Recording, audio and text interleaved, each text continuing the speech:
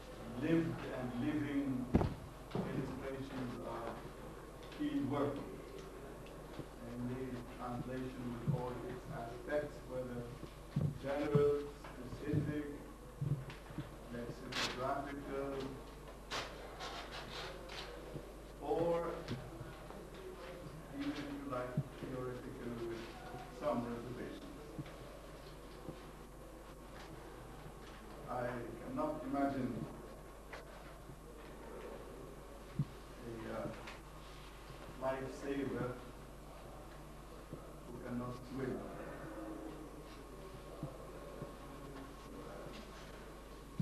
Difficult for me.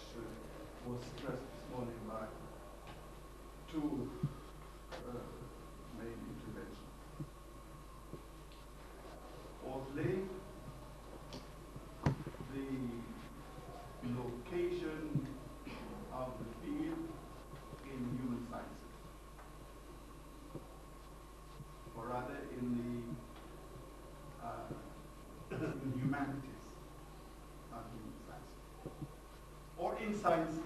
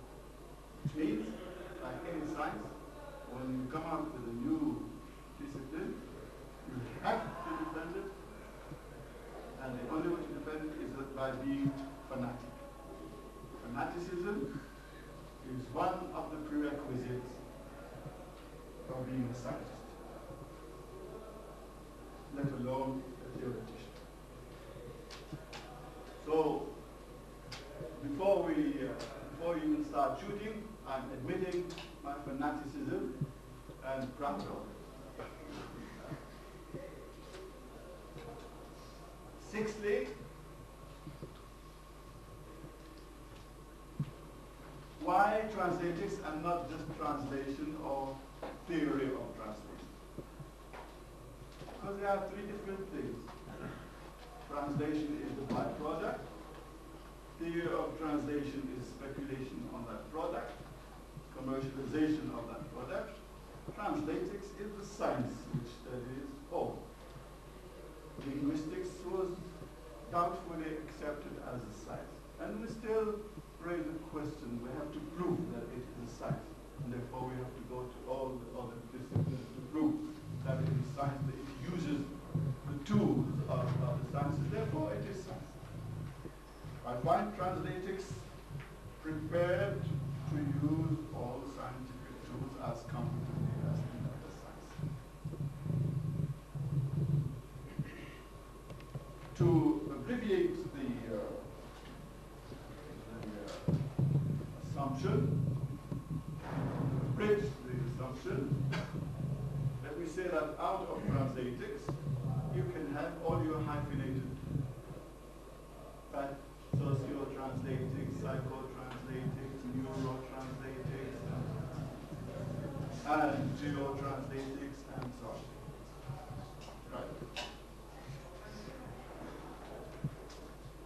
The, uh, the most, the most uh, useful hyphenated word for the time being for me is neuro translating. Uh, you, uh, you, have a, you have a handout that will help you. There are some, there are some terms that are described, including translating what it means and so on. But some of the things are not, this is only one part of the, uh, the lexicon, the lexicon of translation. And it's, it's, uh, being, it's being handed out for the first time. for the first time. So nobody has ever looked at this before, not even the, the students who are taking the course. Right? This was the first time. Pardon? Yes, I, I have, uh, so I, I, yes. Right, you got it.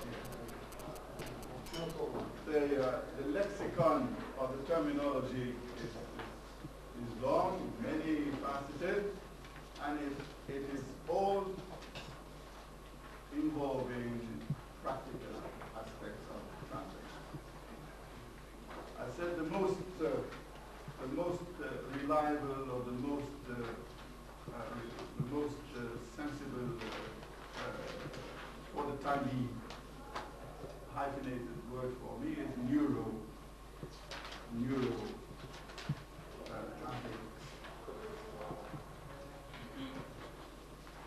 If we look at the, uh, the brain and the functions of the brain with regard to language activities, the left hemisphere, as you know, contains the compartments or the areas for language activities. and two main areas, Broca's area and the other one, uh, Wernicke, Wernicke's area, uh, which deal with comprehension and speech comprehension and speech expression.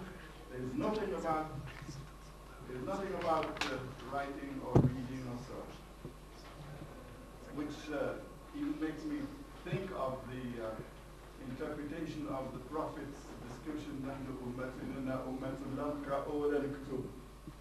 uh, it starts from the demand itself, which has no compa no no no reserved compartment for reading or writing, only for speaking, for speech and comprehension. Therefore, the relationship between the two compartments is that of translation and conveying the speech activity involving translation. Translation is not discarded from concept. It is included, but it becomes, as you see, it becomes uh, uh, drowned in another concept so that it no longer belongs to any aspect of the linguistics. So, and Nifkum Nadi, this morning we were all worried about where it belongs all that. So, Nakum, it belongs somewhere else. Not only that, but it's going to become instrumental for the other, for the other disciplines.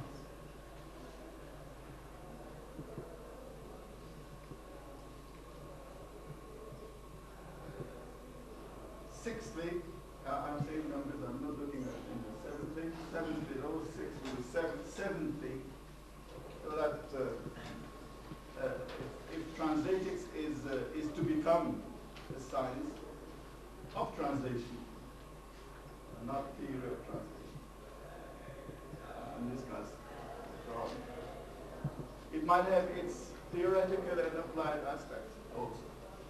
But it's very difficult for me at this time to state to think on the theoretical aspect. I have to admit. It is a clinician, clinician's approach to all the aspects that are involved, involving in the, in the approach has to be clinical in the sense that there are practical aspects in the, uh, in the course. I'm not saying only the teaching, but in, in real life situation where we be, uh, be it uh, daily conversation, day-to-day conversation, be it a, a, a, bilateral relation between two partners or negotiation or a text to be carried over from one topic to another, be it a newspaper article, whatever. It involves, it involves translation. Uh, I referred to Revelation, the book of Revelation, the Quran, and the Bible, Torah as being sample of those. So the translation starts from there, and the Revelation came there, so it was translated. But the Tablir is the is uh, is that. And with, with that, you would have uh, you would have uh, uh, to involve the other uh, qualities or defects or faithfulness or treason or uh, amana, amana and uh, amana, a bit, a little amana from in the covenants.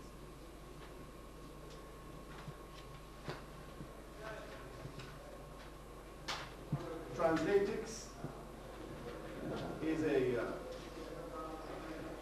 uh, an approach, but it's scientific, to the uh, numerous processes involved in translation.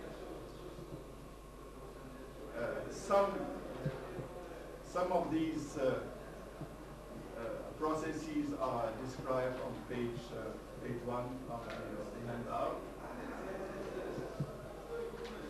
I've taken those which are trans transbound in the sense that we are dealing with even a, a trans, there is a transfer and a transferee and transference and translucent and the transformation and the transform and transposition and the transcodation.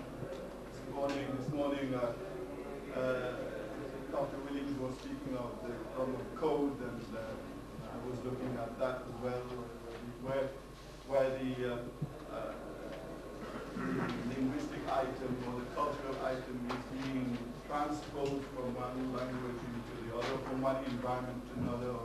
Ibrahim's concern whether it's the culture that is carried over or the or the or the uh, uh, or the linguistic element. It's the entire the entire uh, entity. Uh, eighthly, uh, the problem of reading reading the, uh, uh, the text involves a uh, multifaceted uh, approach, which I to as the, the poly, a polylegibility of the text to be translated. So that the text itself, to which we have given a, an entity this morning, with which you have to negotiate, which has, which puts its own conditions of being transferred, allows for this numerous uh, forms of readings or polylegibility, which are not assigned by the translator, but revealed by the text itself. Uh, I would like to, to close with, uh, with one uh, important issue in the, uh, in the field, and, and that is the uh, technical problems facing the operation of transference. Some of them have been mentioned uh, this morning as the uh, uh, noun, verb, gender, number, passive voice. Uh, are these technical aspects or inherent features of the of the uh, language from which we are transferring, which have to be to be uh, taken into account in the in the target language? we uh, tend to assume that there are universals. The only universal I can uh, start with in this uh, respect in translating concept is the existence of a of a tag, or the land of tag, the translation acquisition device. You're born with that. New new translatings allows for it. And once you have acquired those, once you have exercised those devices, you will be able to not only uh, carry those uh, features or those peculiarities, idiosyncrasies we have raised this morning, but you will be as well able to locate the proper or the adequate uh, slot in the target language for that particular for that particular feature. I should stop here. I know that the uh, discussion, I'm glad the discussion is long enough to, to allow for uh, uh, the possibility of adding more of what you have what one has said.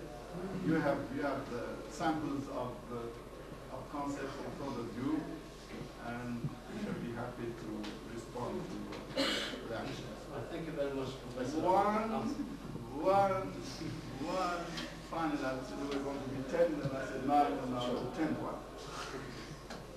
Tenth one is one of the, prerequisites. This morning somebody talked about the, uh, the uh, translators role.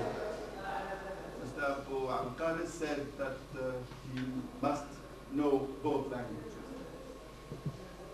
It's not the knowledge of two languages, it's the knowledge of the system of language in general, language system, and the systems of the language he's working with, ability to, to move. Uh, it's, not, it's not code switching. This is translating mobility within the language systems to which uh, Imam Shatibi and I, and I borrow the expression from him which I insert in the concept is uh, concept in muwafaqat is istiwa lisanayn. For me that is linguilibrium. On that note, we go with these 10 comments. Thank you very much.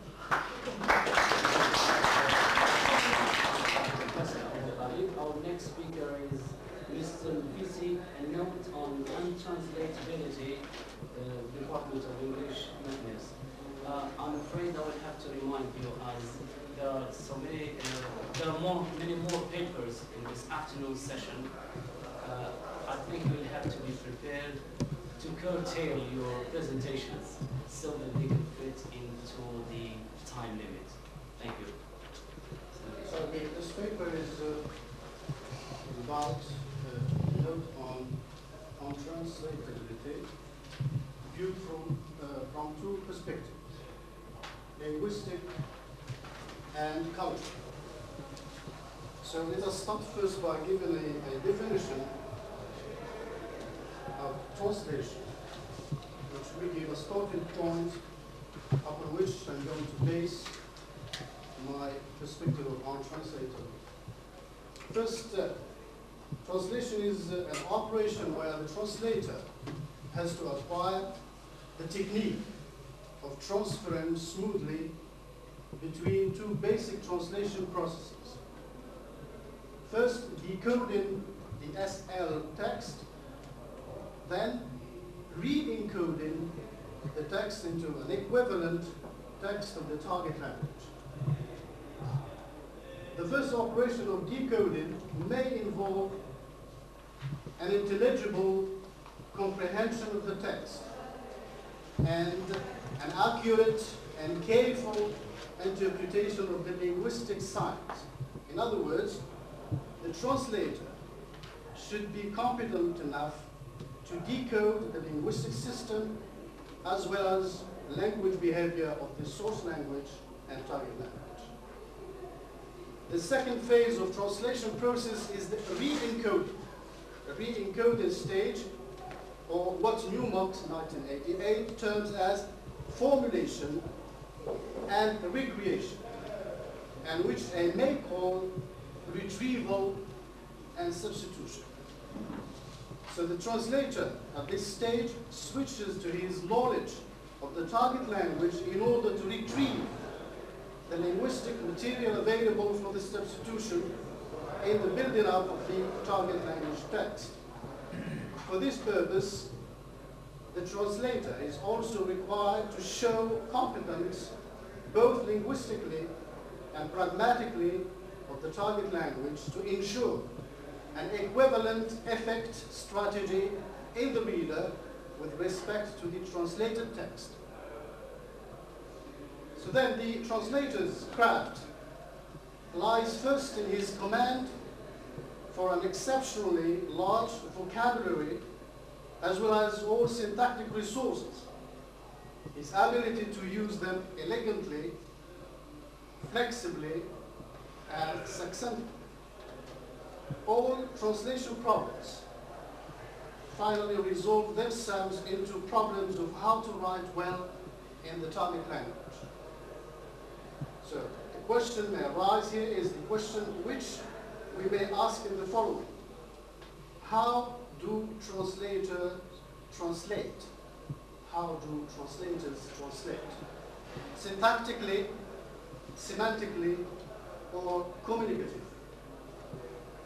These three hierarchical components of language system and language behavior actually cooperate to mitigate the translation operation and they represent, in fact, kernel sources for the problems of translations and the continuum of the. So, for this purpose, I will examine two aspects problem of translation. The first aspect is linguistic and, untranslatability, and the second is cultural untranslatability. What I mean by linguistic untranslatability is the involvement of syntax and semantics being our sources for problems of translation. We start first by the syntax or syntactic problems. Since the sentence is usually the basic translation unit, the sentence is the basic translation unit, structural problems of translation usually crop up from differences in the type and the family to which both the source language and the target language belong. For example, for this purpose we can see Greenberg 62 and Comrie 81 for universals. So for this purpose, the structural difficulty of translation is measured, is measured by the following criteria. Whether the language is configurational or non-configurational, whether the language is concatenative or non-concatenative, whether the language is poorly inflected or heavily inflected. So uh, an example of configurational language, English, French, and family alike. Non-configurational, non-concatenative, and heavily inflected is the case of Arabic and perhaps some other Semitic languages. The first problem we can talk about is the problem of word order, which we, we measured this morning. The problem of word order moving from the source language to the target language. We have in mind, we, make, we can have in mind now English and Arabic. So an SVO or VSO language, for example, two orders. For English we have SVO and for Arabic we allow two possible word order, either SVO or VSO. Uh, a marked order and an unmarked order. So why translate it from English, for example, into Arabic?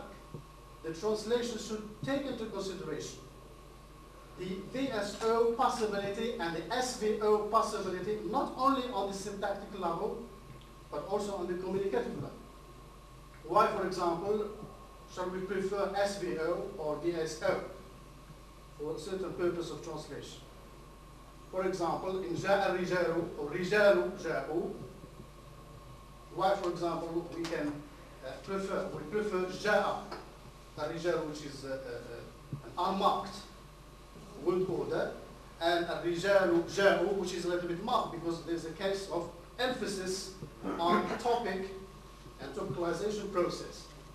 So while translating the English sentence into an Arabic sentence, the translator should take into consideration this kind of uh, uh, word order question. The second point, which can be uh, a point, uh, a source of uh, uh, problem of transformation again, is the transformational rules in syntax. So the translation should be aware of the transformational repertoire of both source language and target language and their bearing on translation process and their contribution in maintaining the vocative function of language.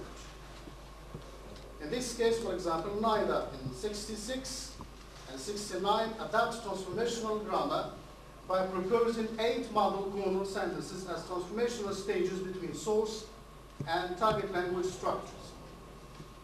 Other operational rules on the level of basic sentence structure are of great importance to the translator's syntactic knowledge. Among these rules, for example, we take the topicalization rule. We take the English sentence, for sentence, for example, Mary, I saw yesterday. Topicalization example.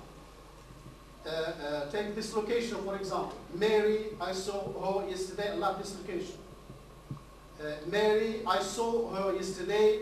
Mary, right dislocation. Extraposition rule. It is difficult to translate this passage. Cleft sentences or clefting. It is John who did the work.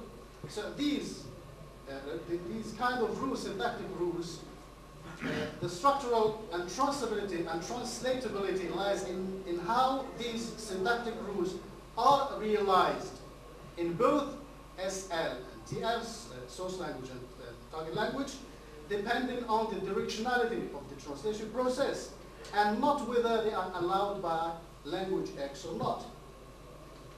So similarly, stylistics and construal rules, compare for example, Chomsky and Lasnik in 1977 and Thomas Filgers, experienced the same problem with regard to translation. A problem of preserving the communicative function, perhaps the vocative function of language, and the communicative import of the translation, uh, the, the, the translated text.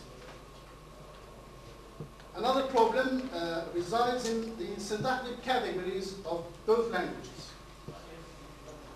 Syntactic categories in standard Arabic, such as, verbs, nouns, adjectives, inflect for number, gender, masculine and feminine. So the case to point here is agreement with number. For example, we have singular, dual, plural in Arabic. With plural, different kind of morphological changes concerning the plural.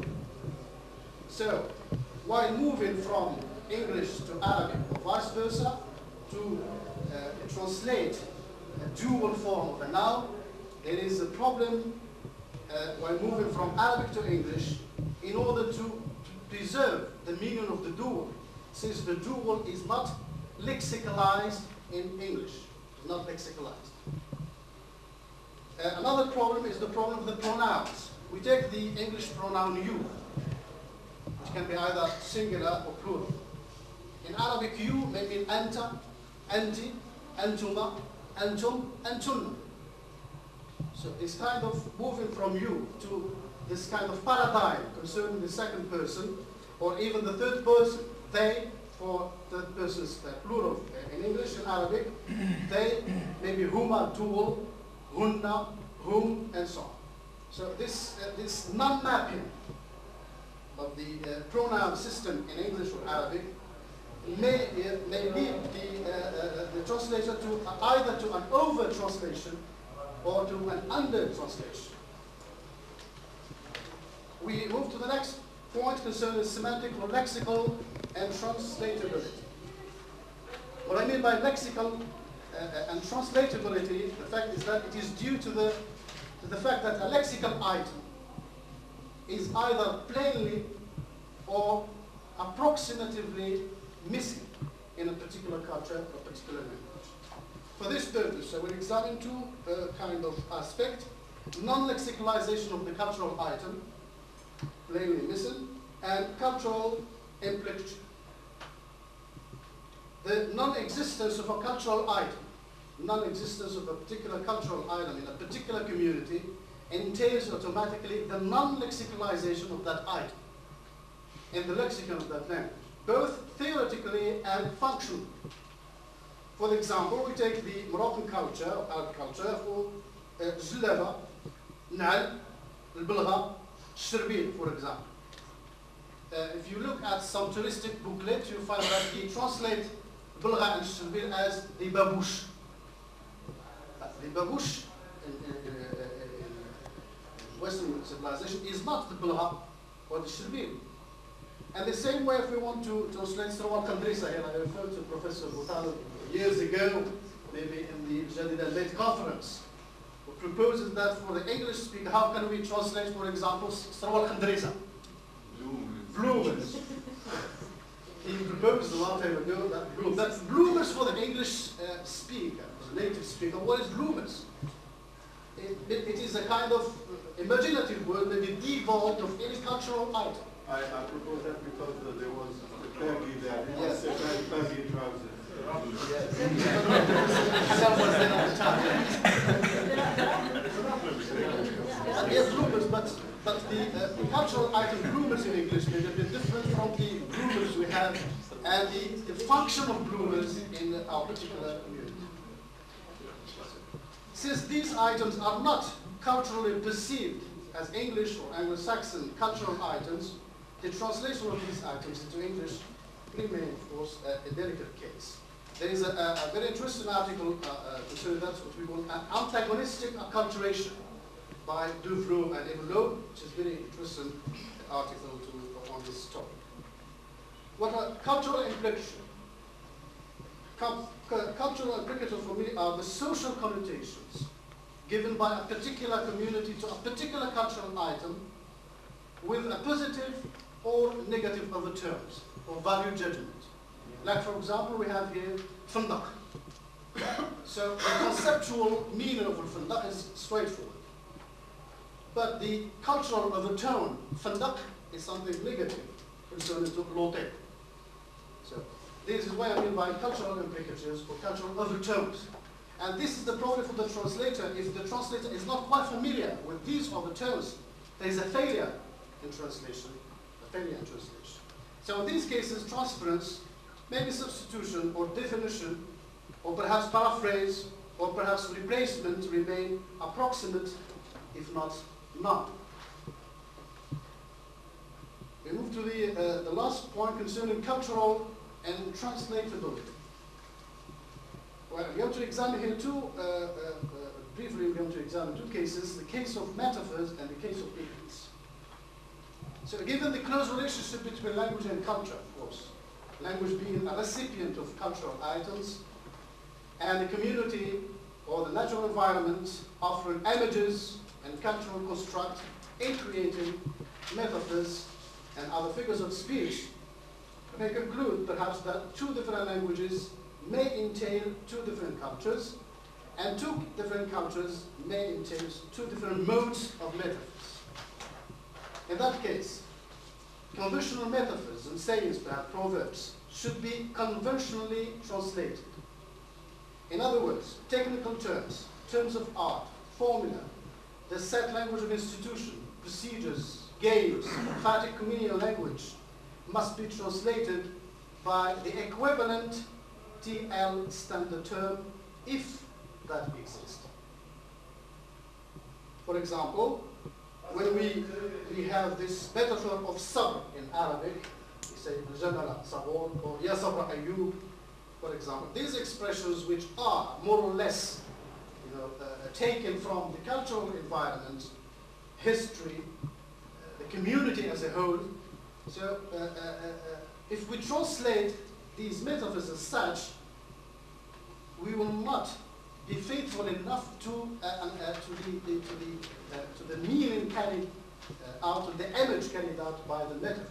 So either we have to find an equivalent metaphor in the Talmudic language, or we may resort to uh, a translation of the metaphor, and for this purpose we can, uh, you can refer you to uh, uh, Newmark 1988. For example, I have an example here from Coudoyer les gens in French, les gens, parallel to rub shoulders with in English. Rub shoulders with, les gens, which means mixed with.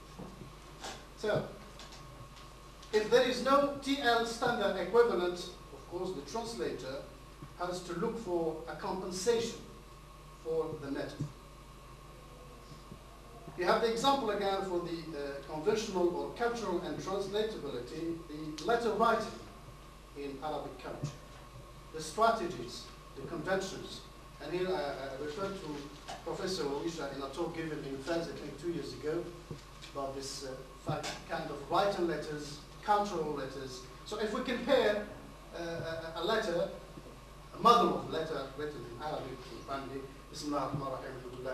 and so on and so forth إلى والد العزيز إلى أخي العزيز كيف and so on you know that you are familiar with this law you know maybe redundant letter in, in Arabic, which is loaded with cultural items. It's a bit difficult to translate this letter into an English version, but pertaining, trying to preserve as much as possible the meaning of the letter, moving from the source language to the target language. The last stage in this uh, phenomenon and uh, uh, translatability, uh, as far as culture is concerned, is the problem of idioms. Again, idioms or phrases or word groups whose meaning cannot be elicited from the separate meanings of each word of which they are formed. So, so, so they are the kind of fossilized, fossilized language, idioms, idiomatic expressions, proverbs perhaps, and so on. So then idioms can never be translated word for word since idioms are either colloquial or slang.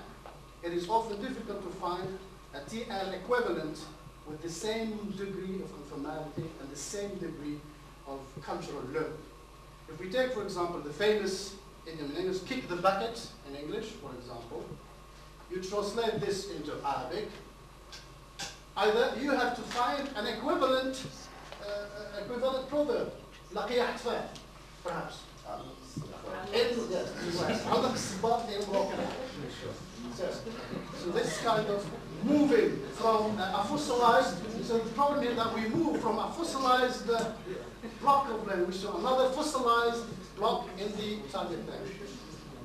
So finally, to conclude then, the phenomena of untranslatability is relative and represents a kind of continuum of gradual loss of meaning. Maybe translation, over translation, mistranslation, and finally the end is untranslatability. The worst case of untraceability to end with are purely conventional or not, and or cultural. In the world of literature, the most case of untranslatability is the one voiced by Robert Frost himself. Poetry is the untranslatable element. Thank you. Now we, we move on to move on to another paper which which is inspired by this axis, translation in practice, and presented by Dr. Moussabir from the Faculty of Letters, Rabat, and entitled Teaching Translation in an English Department, Retrospects and Prospects. Thank you, Mr. Chairman. In my presentation, I'm going to bring you down from the lofty of, of the theory to the more pedestrian problem of of translation. For how does the transfer between the haves and have-nots take place? From those like you who have this amount of knowledge those who come to our institutions in order to seek uh, ways and means in order to become translators. In order to do that, I would like to give you my own account of the experience of um, myself and my colleagues in the English department for about over the past 10 years with the translation course, especially at the level of the third year. In our department, I believe, as case in most departments, we have two, uh, two courses, one in the fourth year and one in the third year. And um, in, in terms of staffing, these courses in our department were uh, initially staffed by whoever could handle the two languages. Whoever could handle Arabic and English uh, was given the task of training people in uh, becoming proficient in uh, translation. Graduate people who had training in linguistics or are more into uh, translation studies uh, started to um, uh, take care of these courses, especially at the level of 30. Predictably, the teacher's training determines the orientation given to the course. Over the years, there seems to have occurred a shift in the teaching of translation in the third year, a course that was taught by uh, uh, a number of people over uh, these years. And my survey, the teaching material used, and the end of the year exams given uh, convinced me that whereas in the past, when this course was staffed by literature people, the tendency was to view translation as an art and craft, and to select teaching material on the basis of the general interest rather than on the basis of its structural difficulties. More recently, as the course is staffed by colleagues whose training is mostly in linguistics, translation translating is viewed as a skill and the material used to teach that skill is selected on the basis of its linguistic uh, complexity or simplicity and of its representativity in terms of discourse types. Theoretically, all groups cover the same material and instructors are supposed to coordinate in order um, to share the teaching uh, material and that's as far as they can go in uh, trying to secure some uh, type of uniformity. Course objectives as stated in the course descriptions from 1980 to 92, they have four points on which colleagues seem to agree and the first one is, the first objective is to introduce translation as a dynamic and creative process. The second, to bring the student to feel and respect the genius of both languages, Arabic and English. The third point, to teach the student how to remain faithful to the original text without falling into the servility of literal translation. And fourth, to give the student uh, systematic, gradual training and by way of preparing the student for uh, the end of year exam. The teaching method, the students are given material to translate either in class or at home and their translations serve as a basis for comparison, general discussion and analysis. The teacher's own translation is given as a model whenever necessary or appropriate. More recently, over uh, the past uh, two years, uh, in-class activities started to include on-site translation, simultaneous translation, and consecutive translation.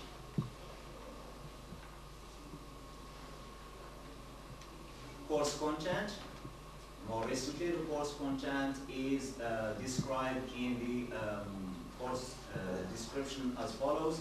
The underlying principle is to expose students to a variety of text types, literary, legalese, journalist, scientific, religious, political, economic, etc., in three consecutive stages. The simple sentences, idiomatic constructions, uh, the expanding of the sentence, the linking of clauses, the paragraph, selected text, and finally, introduction of a small dose of theory of translation, uh, translation procedures, and contrastive linguistics to increase the students' awareness of the various problems, syntactic, semantic, sociopragmatic, involved in translation.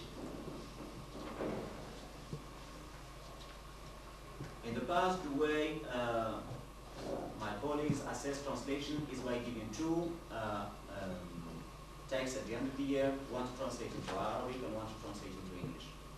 Uh, over the past two years, they uh, started to give four texts uh, taken from two uh, different registers, two to translate into English and two to translate. So they give four instead of two. That way they, uh, they give texts representing different uh, types of discourse.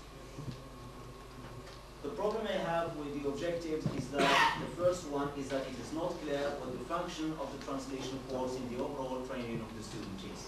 So the objectives do not reflect that there is a certain uh, clear view of what function translation should fulfill in uh, the general the general overall training of the student. The second problem I have with the objective is that it is unrealistic to try to develop the student's competence in two languages at the same time, given the constraints that, uh, that we have to contend with. Groups of around uh, 70 or 80 students, and you have two hours a week, and you are supposed to develop the students' uh, competence in two languages, not only to make them aware of the linguistic um, characteristic of the two languages, but also of the stylistic uh, variations in, in, the two. And I believe that's too ambitious uh, for a course at that level. A question that, that I have and which relates to that is, is it necessary to aim at developing the student's competence uh, in translation into both Arabic and English? In other words, do we have to uh, make our students proficient in translating into both languages. And this is bearing in mind that we are dealing here with people who are receiving their trainees in an English department. For one thing, I believe that the student's competence, my answer to that would be no. For one thing is that the students' competence in Arabic seems to decline the further they advance in their English studies. This is, this is a common phenomenon that we are witnessing, is that uh, the closer they get to the fourth year, then uh, the, the less proficient they are in Arabic. And they think that's a problem that we have to contend with and we have to take into consideration when we uh, try to uh, set goals for uh, translation. And what makes matters worse is that the department has no control over Arabic for its students. The courses in Arabic they take are more content-oriented than language-oriented. They are offered by the Arabic department, and the Arabic department determines uh, the way these courses should be uh, taught. That means the Arabic that our students take.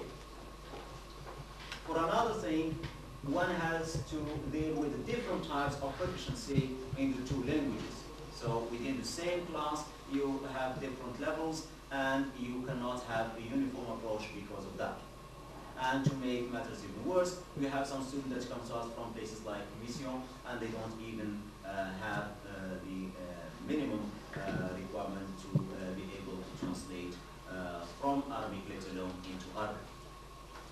Whereas for uh, the third point, the third objective that uh, I mentioned uh, earlier and which concerned to students how to remain faithful to the original text without falling into the servility of literal translation, at best this seems to be superfluous because I don't really, it does not really give you an idea about how you achieve it, it just gives you a name and I'm not sure what the approach to that end is. This is the problem that I have with uh, translation course as a person who taught the course uh, for a number of years and who is likely to be called upon to teach it again, uh, even though I am not a translation specialist.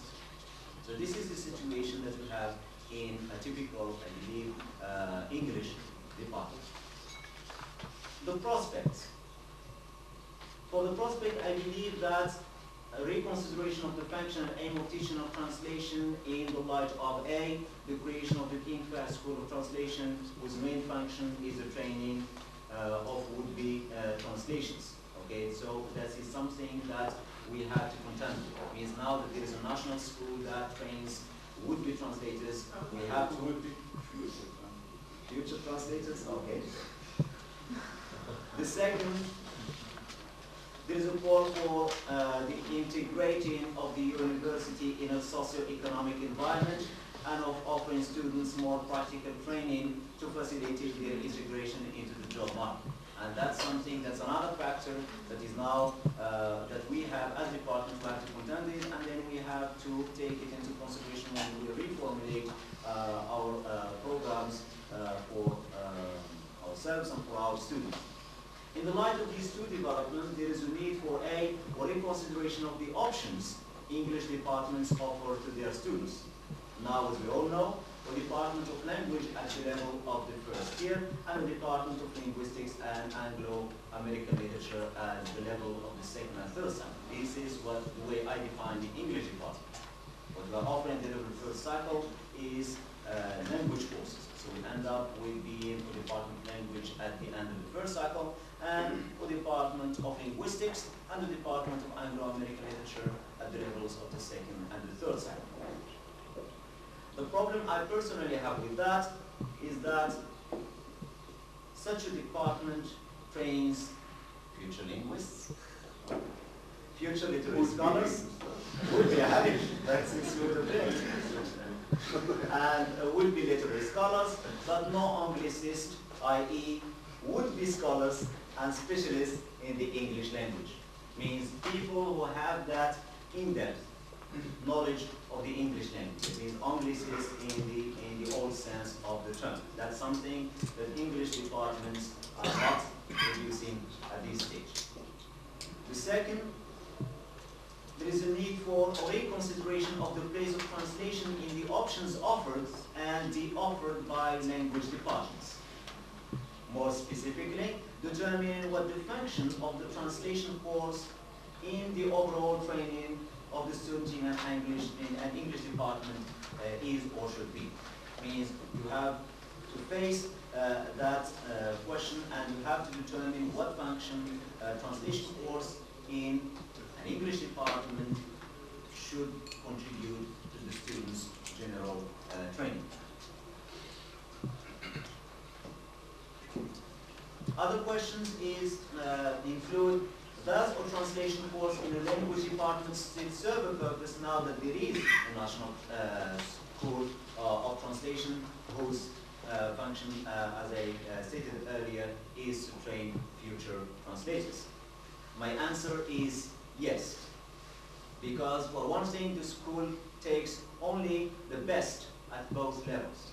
So you still have students who cannot make it and who have to finish uh, their studies and uh, the translation course in uh, an English department gives them the opportunity to do translation when they cannot go uh, to the translation school. The second reason why I believe that there is a place for uh, translation course in English department is that translation is a useful skill in itself.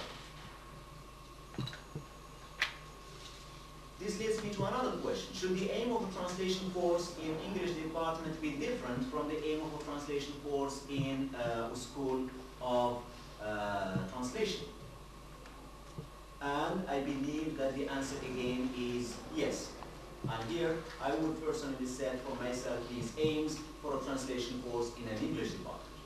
I would view translation as a way of enhancing the students' um, competence in the English language. That is the first function that I would want translation course to serve, with more emphasis in enhancing the uh, students' uh, competence in the English language. I would view translation as an advanced language learning device or mechanism. It is one way of uh, enriching the, the students' uh, language experience.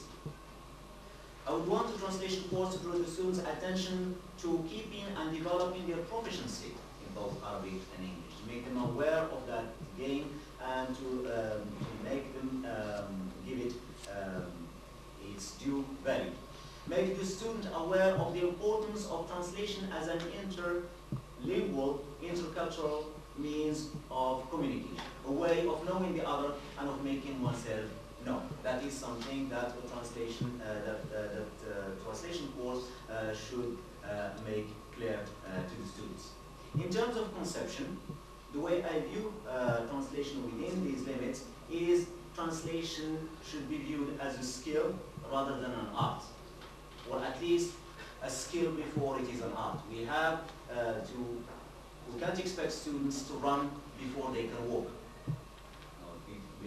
train them uh, in, in the skill of translation, and here it is where I believe that uh, there is room for, for, for developing strategies, developing translation strategies and giving students ways of dealing with, uh, with, uh, with, situations that arise when they uh, translate. develop some sort of scripts for them that they can use at least at this initial stage. For this reason, I believe that the teaching method and teaching material selection should be governed by the same uh, principles that govern the um, uh, teaching of skills, and these involve uh, gradation from the simple to the complex and reinforcement. And here, uh, I, I, would like to um, express uh, my endorsement of uh, what Dr. Williams stated this morning concerning different uh, points that, uh, that uh, he mentioned in terms of objectives. The basic aim of translation is uh, to teach the student fundamental principles of translation through practice. Here, uh, very little room for, uh, for theory. It is you learn by doing. The text used are to be taken from various fields representing different registers and different styles. So maximum exposure to different types of, uh, of language.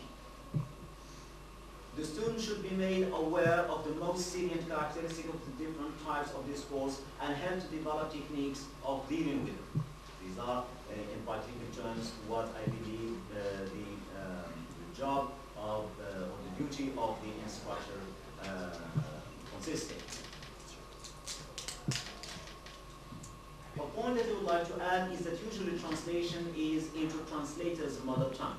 But if the aim of translation in an English department is to strengthen the student's competence in English, then it is probably advisable to confine translation to translation into English, at least in third year, and into and from English in uh, uh, the fourth year. Besides, I believe that the constraints of translation into one's mother tongue probably makes more sense when confined to on-site and consecutive oral translation than when applied to written translation. And anyone uh, who has the opportunity to teach composition to native speakers cannot but uh, confirm that um, that here this is uh, where little can be taken for granted. Means the compositional uh, skill in uh, the language, even if you're a native speaker, you cannot take uh, for granted because it's another thing that you acquire. And here, since we're in, the, uh, in an English department, I believe that the focus should be on developing the compositional skills in the uh, language that the student is specializing in. I'm almost sorry.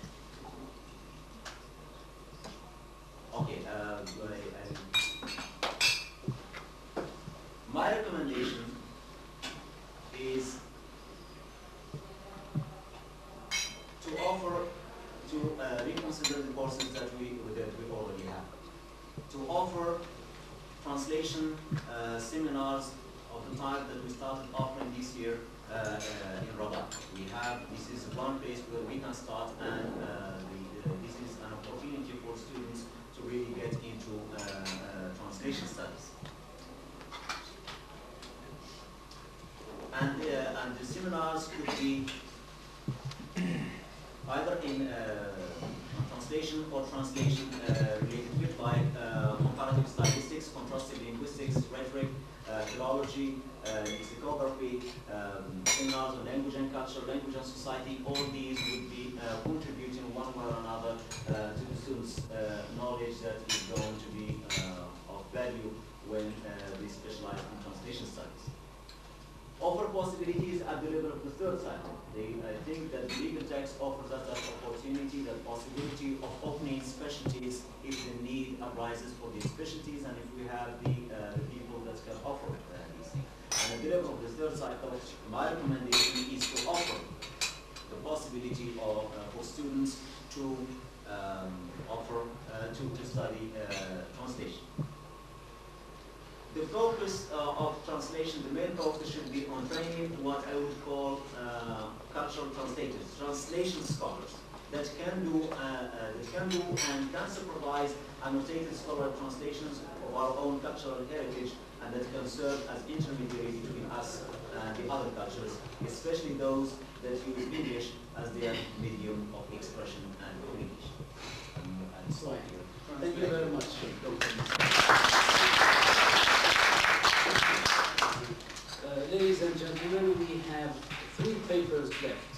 And what we, what I suggest is that we give our speakers the opportunity to present their papers, and then we go for a break and come back for a discussion. Uh, so our next speaker is Mr. Makhoukh from the Department of English, Meknès, and he'll be addressing the use of translation.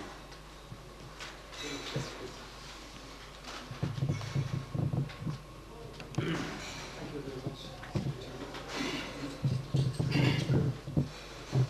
At, uh, at the risk of repeating the content of uh, some of the previous uh, interventions, I will discuss some of the use of translation. It is obvious that translation can be used for many purposes depending on the needs of the consumer. In this brief presentation, I will focus on the role of translation in higher education and scientific research. First, translation and higher education. In Moroccan universities, translation is taught for to the students of the second cycle who are specialized in a given language. The aim of teaching this challenging activity at this level of education is essentially to make the students more conscious of how the language is specialized in words. More precisely, through the practice of translating from the source language, say English, to Standard Arabic, for example, or vice versa, the student becomes more, more cautious about the appropriate use of word order, tense, passive form, passive forms, preposition, adverbs, and possibly concepts. Such a meaningful exercise which is based on contrast, is thus intended to reinforce the student's knowledge of the target language. In this way, the student's performance is supposed to be characterized by accuracy, clarity, and flexibility, to quote uh, that 1989. Another reason behind teaching translation to university students is to broaden their knowledge. However, it is noted that most students are not enthusiastic about this activity. This is due partly from the reduced participation and irregular attendance. So there must be something wrong with the way translation is handled. In what follows, I will venture to relate the students' demotivation to uh, two major factors, the teacher and the material selected for translation. Uh, the teacher. Given that translation is a difficult skill, it's required that the teacher be specialized in the field. That is, he must be competent in both the source language and the target language, he must have a solid background knowledge in various fields. He is required also to be prepared and careful in presenting the material. Otherwise, the task becomes boring, as it is often the case. At this point, one of the questions that may be raised is this. Is it possible to do without translation until we get specialists in the field? To answer the first clause of the question, I would say that it is not possible to omit translation from the syllabus by virtue of its central role in the process of language learning and scientific research, as will be illustrated below. Concerning the second part of the question, it is not possible to wait until we have specialists. Note that even though we have specialists in translation, the same problems will be faced. For pure specialization in translation does not necessarily mean the ability to translate any text in any field. For example, a specialist in translation may encounter the same technical difficulties as a non-specialist if he is asked to translate the Book of Barriers by Chomsky, 1986. One way out of this problem is presumably to arrange training sessions abroad for the teachers of translation. It might be also insightful to organize conferences as to exchange experiences and opinions about opinions as well as to discuss the difficulties encountered in translation. Such an, an initiative will have the the advantage of refining the teacher's strategy of translation. For there is, to my knowledge, no single method of translation that could be agreed upon and adopted in a unified fashion. Concerning the second factor, which is the material which is selected for translation. So the second factor which affects the student's motivation is related to the nature of the material selected for translation. Most of the texts that are suggested by the teacher do not seem to satisfy the immediate needs of the students, such as developing his knowledge of linguistics or literature. Rather, the students appear to be forced to do translation for no obvious reasons. The result is that the student do not give translation its due importance. The paradox is that the activity is highly scored in the exam. To take the example, to take for example the case of fourth year students in the English department, uh, now English department, where translation is scored 8 of 20, while applied linguistics and social linguistics are both scored 12 out of 20. This uh, appears to be unfair because students hardly do any exercise in translation outside the classroom in comparison to other subject matters where much time is devoted. However, if translation is to retain its high score, the text given in the exam should be challenging. To recapitulate, uh, teachers of translation are supposed to state clearly the general and specific objectives of the course so to make it enjoyable and instructive. In my view, the general objectives of translation involve the strengthening of the language of specialization, for example, the language of linguistics or the language of literature.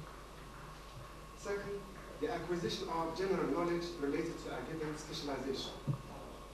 Three, the knowledge of the potential difficulties in translation as well as the techniques of dealing with this activity. Four, the exploration of different cultures. As concerns specific objectives, they could be defined in the light of the student's limitations in a particular course of the syllabus. This step, however, requires coordination between teachers of all courses for each level on its own. The second point uh, to discuss the translation and scientific research. If the objectives uh, mentioned above are taken into account in the choice of the material to be translated, the students will be well uh, better equipped to pursue their third cycle studies with more confidence. Note that, note that the scope of academic research is not limited to linguistics, uh, literature, but it does also include other branches of knowledge such as medical studies, economy, agriculture, management, etc. Therefore, translation is strongly needed and should be taught in all higher institutions and universities. this ambitious step is too demanding because it involves the teaching of translation for specific purposes. To conclude this brief talk, I would like to emphasize the fact that one of the barriers to a serious scientific research is translation. Arab researchers who don't know English, for example, find a lot of difficulties in exploiting the relevant material which is expressed in this language. Therefore, efforts must be made to encourage translation and create groups that have different specializations but implement each other. For example, the translation of linguistic books from English require, among others, a specialist in linguistic terms, as used in the original text, specialist in the translation of Arabic linguistic terms, a specialist in logic and technical terminology.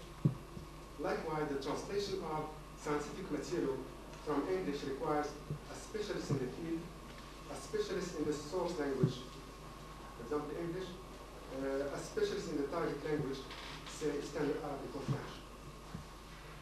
If such groups of translation are created, much time and energy will be saved to improve the quality of scientific research in our country. However, in order for this project to be actualized, it should be financially supported by public and private institutions. Thank you very much. Thank you very much. Great. Now, uh, our next speaker is Dr. Basil Hatim from Heriot-Watt University, Edinburgh. And uh, esoteric about the word competence here. By competence, I mean simply rhetorical maturity. I think that's a, a less trendy term. And rhetorical maturity, I define, doesn't need definition, but one might as well just give it one. It's the ability to perceive, conceive, and execute in response to certain communicative demands made on a speaker of a particular language. And I'm not particularly thinking of translators here. Any speaker of any foreign language, including even his mother tongue, will be called upon to perform in certain communicative settings. There will be certain demands made on him. He will have to respond to that kind of communicative demand intelligently. That's really my notion of textual competence. Now, my basic argument, to bring it back to translation, is really to use translation, the translation class, as a basic workshop to investigate this kind of problem, to train the student into that kind of response, to really expose the students to the various communicative demands made on him and so on and so forth, while moving from L1 to L2. And my ultimate aim, of course, is that we are not really doing translation per se as an end in itself. We are doing translation in a utilitarian manner as a vehicle that's going to enhance our competence in handling language, in handling language, the mother tongue, for example. This is a sadly neglected area, in handling the foreign language as well. In other words, what I'm getting at really, we are no longer parasites or unwelcome visitors in English departments. I think we will earn our keep we will be operating within a respectable discipline. You see, our problem with our profession, it's low grade, and we keep downgrading it. And I think it's unfair. I think we deserve better. And I think we are operating within. Now, but the problem is, of course, it's, it's our failings. And it is this kind of thing that I personally try to supplement the other contributions, if I may, by proposing a kind of framework. In other words, we've heard very noble statement of intent, especially from our friend from the English Department Rabat. I would like now to put my oar in and say, well, in order to do that, which is really a, an administrative policy statement, we would like a contrastive fixed linguistic framework within which the teacher may find himself happier to operate, within which the student may find the operation meaningful. That's the problem as well, because the student is going to tell you, well, what have you got to offer me? It's not a discipline. Where are the limits? And I think we've got all that, provided we start thinking about it, provided we become interdisciplinary, use other insights from other areas and so on and so forth, but place them within the translation process. So that's really my, my basic aim. Now, in order to do that, the framework I personally want to suggest revolves on two basic assumptions. But let me get rid of the silly one, the, the unimportant one. These communicative demands, and by the way, deliberately calling them just communicative demands at the moment, we'll give them perhaps a better term and a more, more rigorous definition, place on the translator different kind of constraints, i.e. demand A, demand B, demand C are three kinds of demands, each of which requires a translation theory, each of which requires a translation strategy. Why I mention this basic assumption, we seem in the same day, in the same hour, go from demand A, B, C indiscriminately and hoping for the best that the student is going to really grasp what we are on about and what we are doing really conceptually playing havoc with, for example, this, these notions of journalese. It's a very dangerous concept. Let's do a term of translating journalistic English. Now, we are ignoring a very, very basic factor, that this journalist operates in at least three or four capacities, including, number one, he or she, the journalist, can be an arguer. In arguing, being an arguer, place the translator under a set of communicative demands that let's call them argumentation. The journalist in the same piece is going to relinquish that function and move on to becoming an expounder, a detached observer. Here he will be operating in a totally different capacity. And the demands placed on the text and on the translator are going to be of a different order. He will then move on to really operating in between. That he is neither the detached objective observer nor the arguer. That's here we have a hybrid kind of capacity.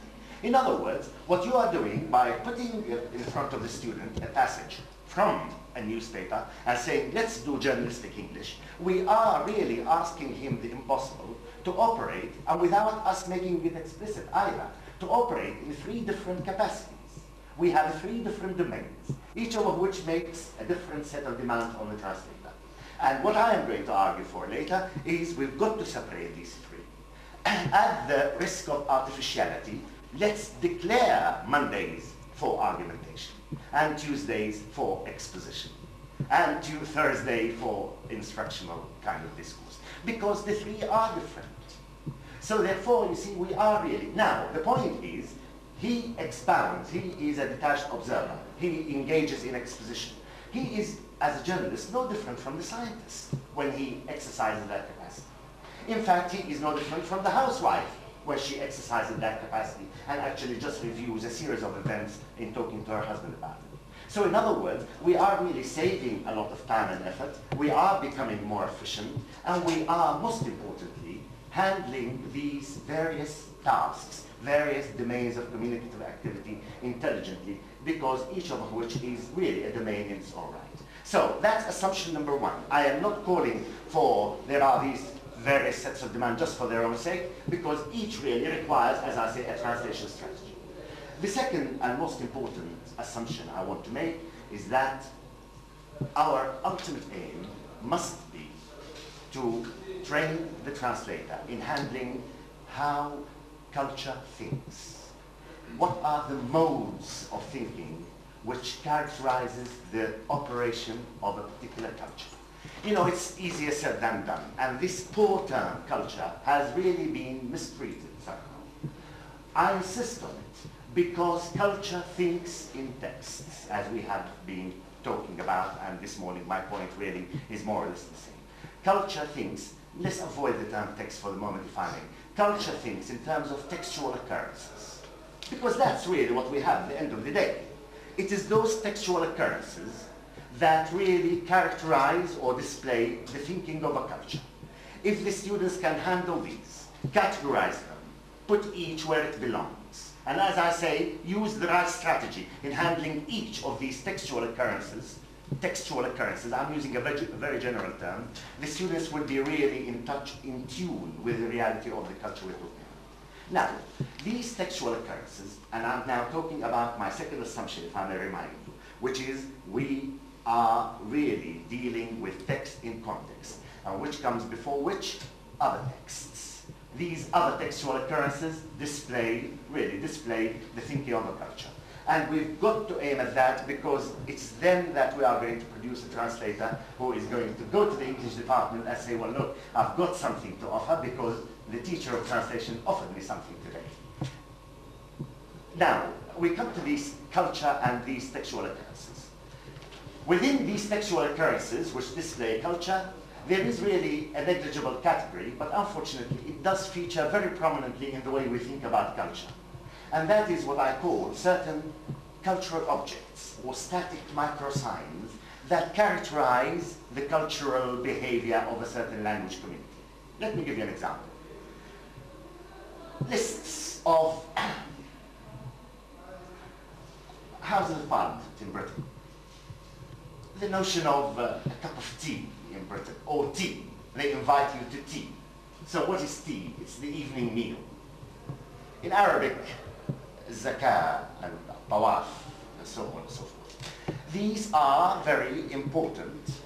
They really do cater for about 10% of the way cultures think, but they are really negligible.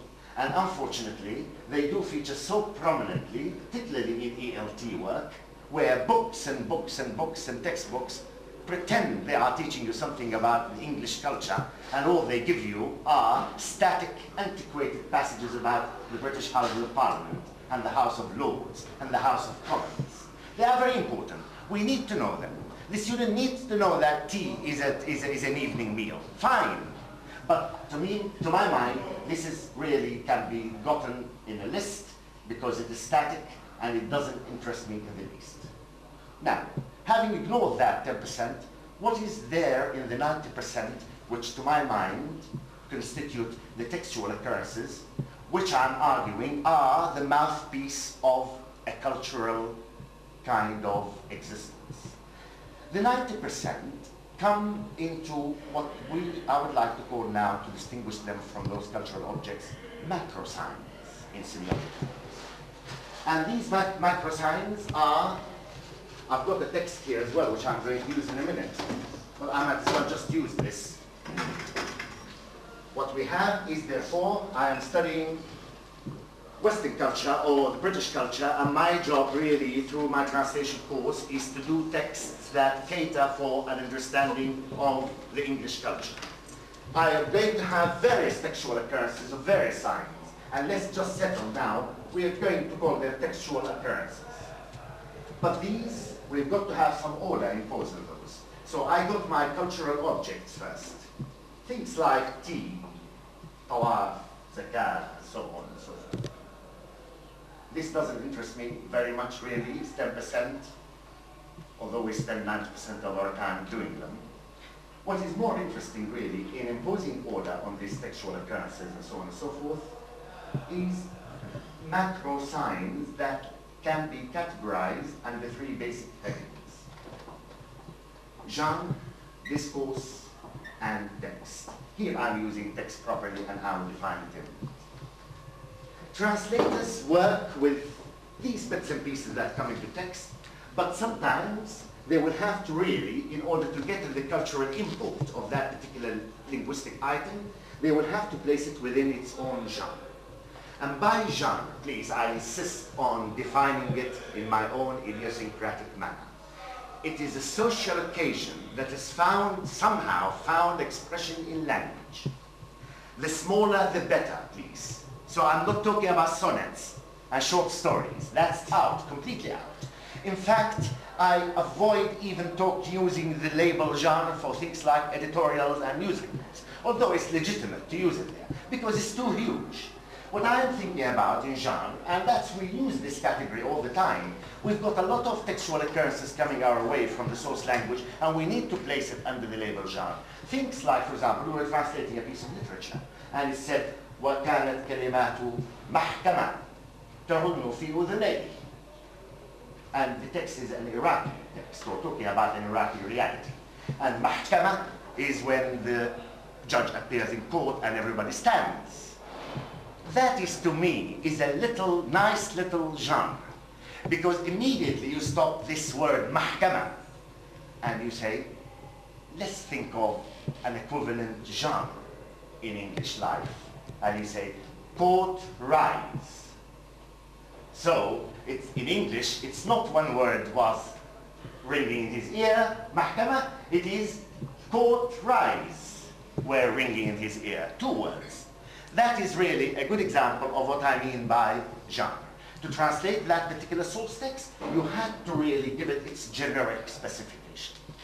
If through that category genre, we will really learn so much about so-called English culture.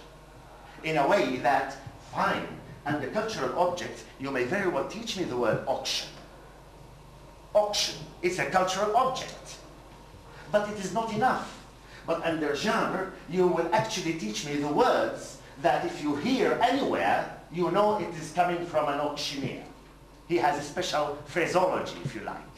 And since auctioneering is known in Arabic as well, one day you are going to come across something in Arabic about, enunciated, mouthpiece by an auctioneer. And what you need really is to think of the genre auctioneering in English. So you see, the word auctioneer, when you taught me that as a cultural object, wasn't really very interesting. But the actual words used by the auctioneer in actually selling his goods, when he said, this settles on you, yes, any more, any more, yes, 60, 62, 65, any more, and, Much, much faster than that. oh, much faster than that. That's it. So, uh, But the point uh, is, please, let's define genre in a very small, manageable little units. And really, I gave you a couple of examples now of what I mean by, uh, by the word genre. That will really cater for a number of these textual occurrences, and my ultimate aim, as you know, is really to, to, to translate cultures. The other category is discourse, and I would like also to, de- to define it idiosyncratically into, there are key terms which really provide the mode of expression for an institution, if you like. Racism, feminism, Islamic fundamentalism, fundamentalism of any sort. All these are discoursal institutions. Actually, to evaluate is a discoursal institution. To engage in objective, detached rendering of a state of affairs is a discourse. Of course, legalistic discourse. Of course, journalistic discourse. And you see here we heard the word now journalistic used as a text type. It is not. We haven't come to text yet. I will come to that in a minute. At best, we can speak of journalistic discourse. There are key terms. وجدير do وعلى صعيد آخر whatever. There are, you see, and of course, open your mouth and I know what political affiliation you are, you have. I know if you are a racist. I know if you are a Muslim fundamentalist or whatever. How? It's these key terms, cultural code in bad terms, or whatever you want to call them, that characterize the thinking of an institution. It's different from genre in the sense genre is a social occasion, auctioneering. But discourse, it really comes from the thinking of an institution. Again, you have these signs coming your way, and you can place them within the category discourse and translate them within that particular category.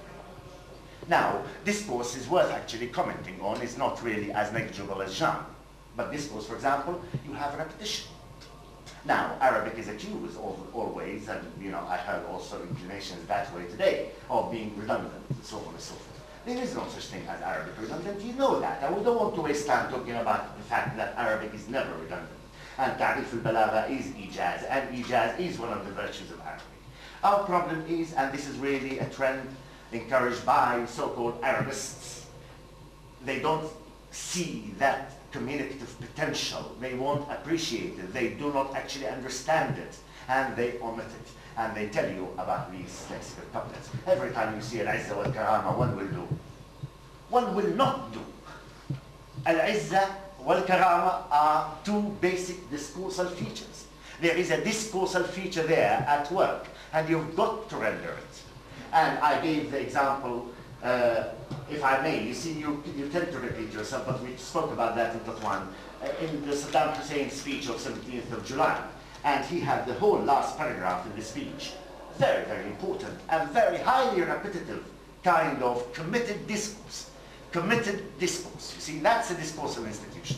And basically he was talking about, of course, relying on other texts such as the Quranic text and the Hadith and so on, uh, under the theme Allahumma shahad, that I am warning you if you're not going to really see sense. I'm praying that we will all see sense, but if you're not going to see sense, I'm going to do something drastic. A whole paragraph, highly repetitive, I must admit.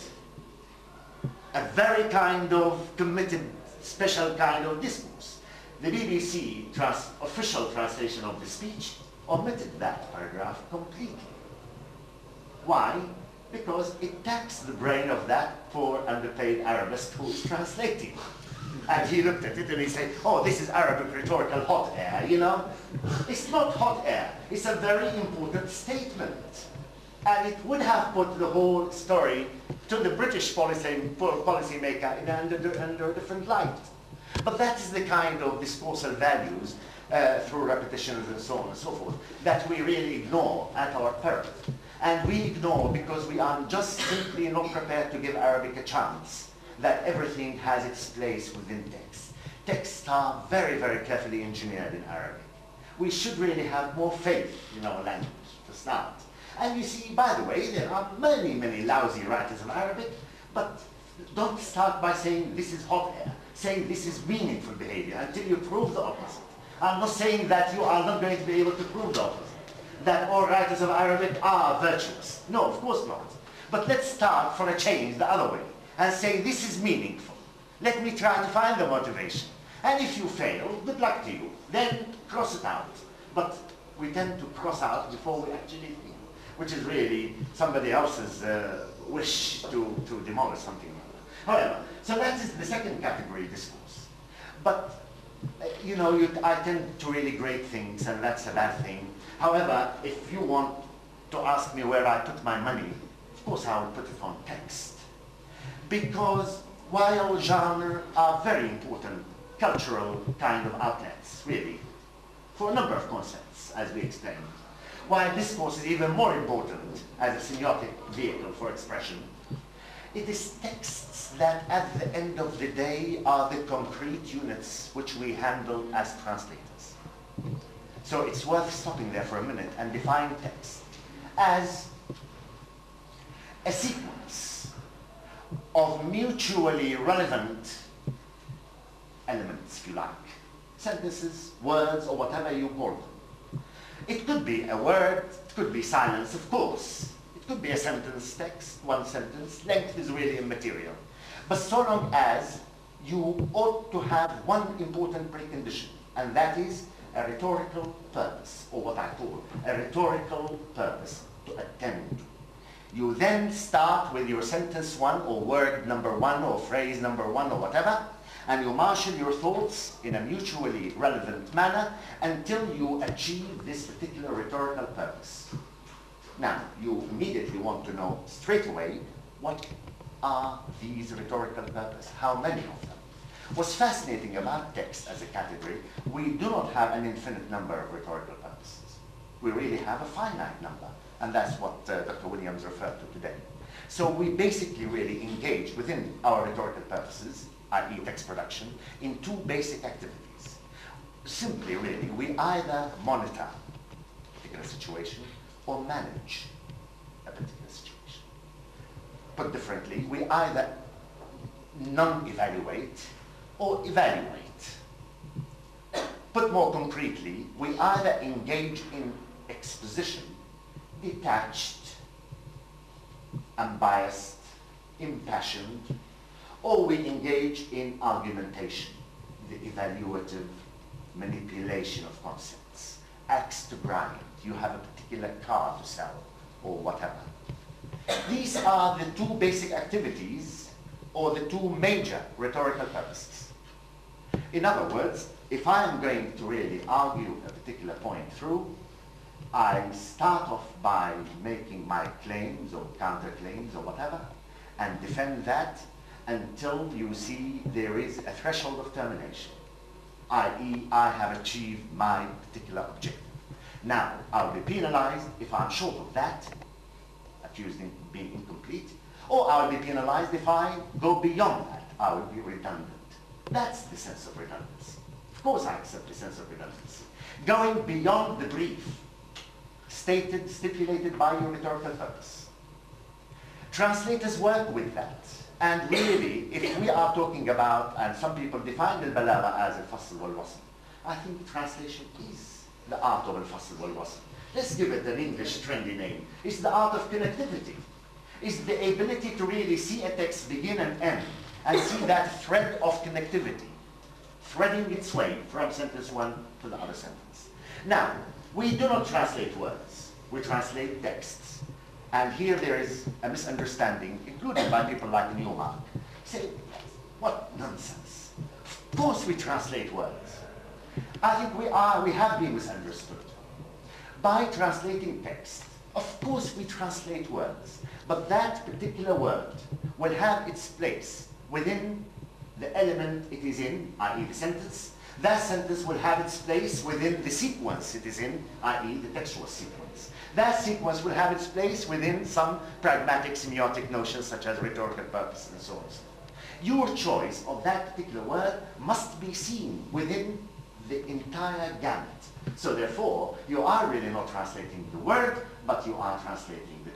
That's what we mean. But we get misunderstood as if I'm saying, oh, ignore dictionaries and burn them all because we are not translating words. We just translate holistic wholes for text. No, that's nonsense. Of course, we translate words, but these words must be seen within their textual environment. You see, just to give you an example. There is a text, and the text belongs to a very interesting argumentative format in English and what I call the straw man gambit. Forgive me those who listen to me speak about this, but it's worth repeating actually for those who didn't listen to me about this. It's an ELT problem really before it's become a translation problem, but unfortunately it is really a very, very acute translation problem among excellent postgraduate students I get whose English unbelievable, whose Arabic unbelievable. But when it comes to textual strategy, they are hopeless. And they really perform disasters. Nobody spoke about discoursal errors. But these discoursal errors can be really very, very disastrous indeed, especially when it comes from a student whose handling of both languages is perfect. The Straw man Gambit is a text format in English, and, and really I will uh, explain it because it exemplifies what I mean by text. It begins by a claim, a concession if you like. You pay lip service to your opponent's stance, and then you have however, oppose it, and then you substantiate your opposition. That's the basic. You see, this is what I mean by text. The rhetorical purpose there is to counter-argue. To counter-argue, I know for a fact that you are going to start with lip service, followed by opposition, however, nevertheless, etc., followed by a substantiation of your stance. I will not settle, I will not rest until I see these elements, one after the other. You are incomplete if you don't give me the three elements. You are redundant if you go on and on with your substantiation for about three pages, as Arabs do. That is redundancy, and that is bad Arabic, of course. It's not a virtue of Arabic. However, having explained this format, and this is really what I mean by the category text, this is what I mean by culture. This is way of thinking. Now we've heard, as I say, so much about houses of parliament and all these antiquated concepts.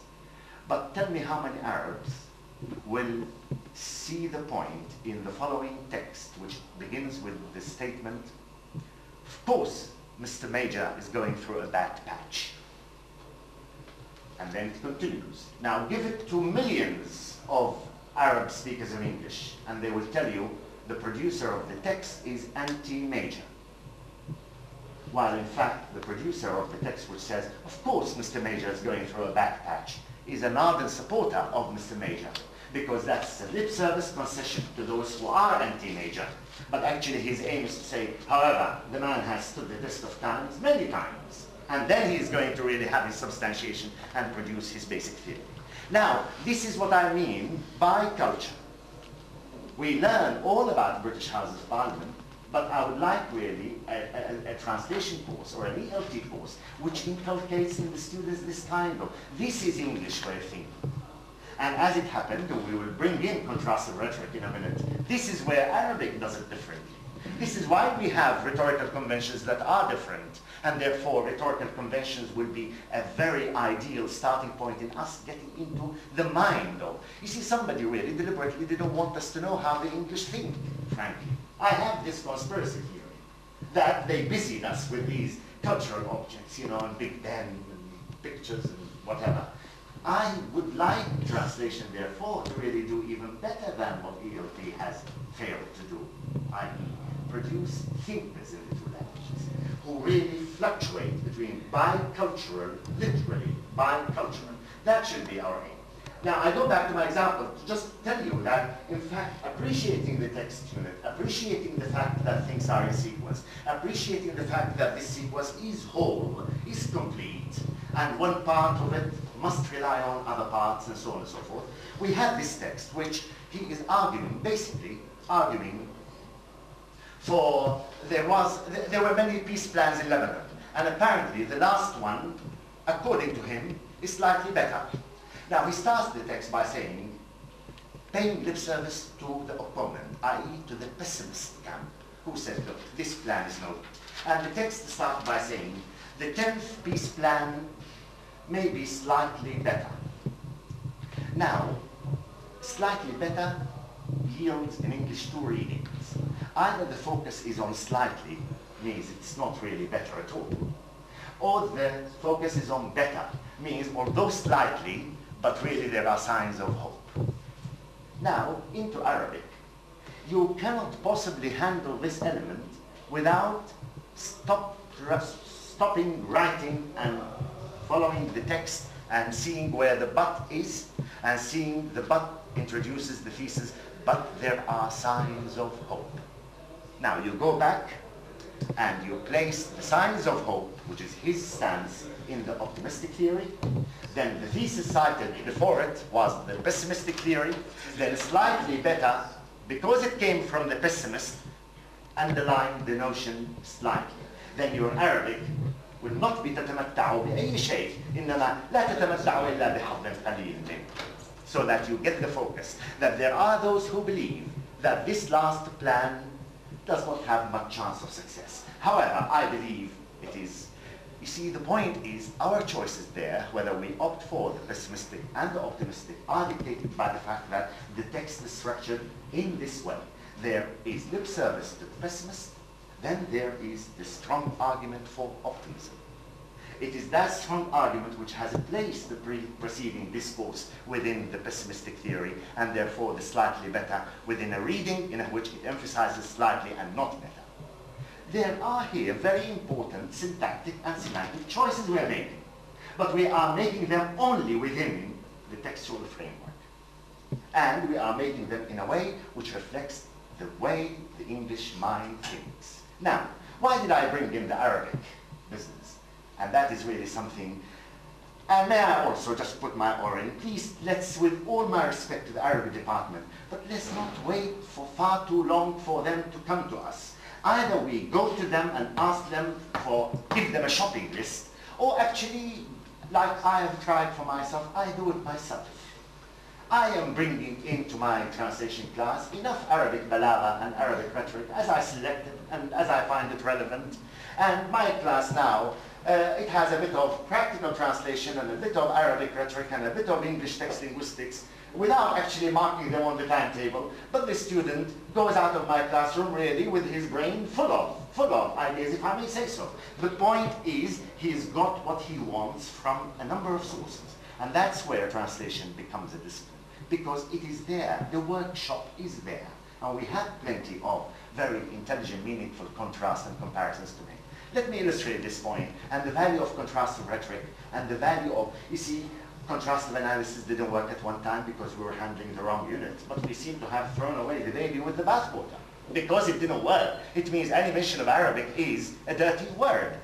We've got to try again, and we've got to change perspective. That's all we want to do. Now, I've got this text there. So imagine I have been doing this particular text I've just spoken about with the slightly better with my students. And of course, they got it all wrong. Really, they all got it wrong. You know, if I test them in their Arabic and English, they would produce dictionaries because they are so good. But this business of slightly better and where the focus is, they got it all wrong because they couldn't, they do not look beyond the sentence. They do not look beyond the word. They do not appreciate there is a unit called text and it is structured and it has its own texture. Cohesion means something only when you look at the whole unit. They do not. But they can be made to look for these things.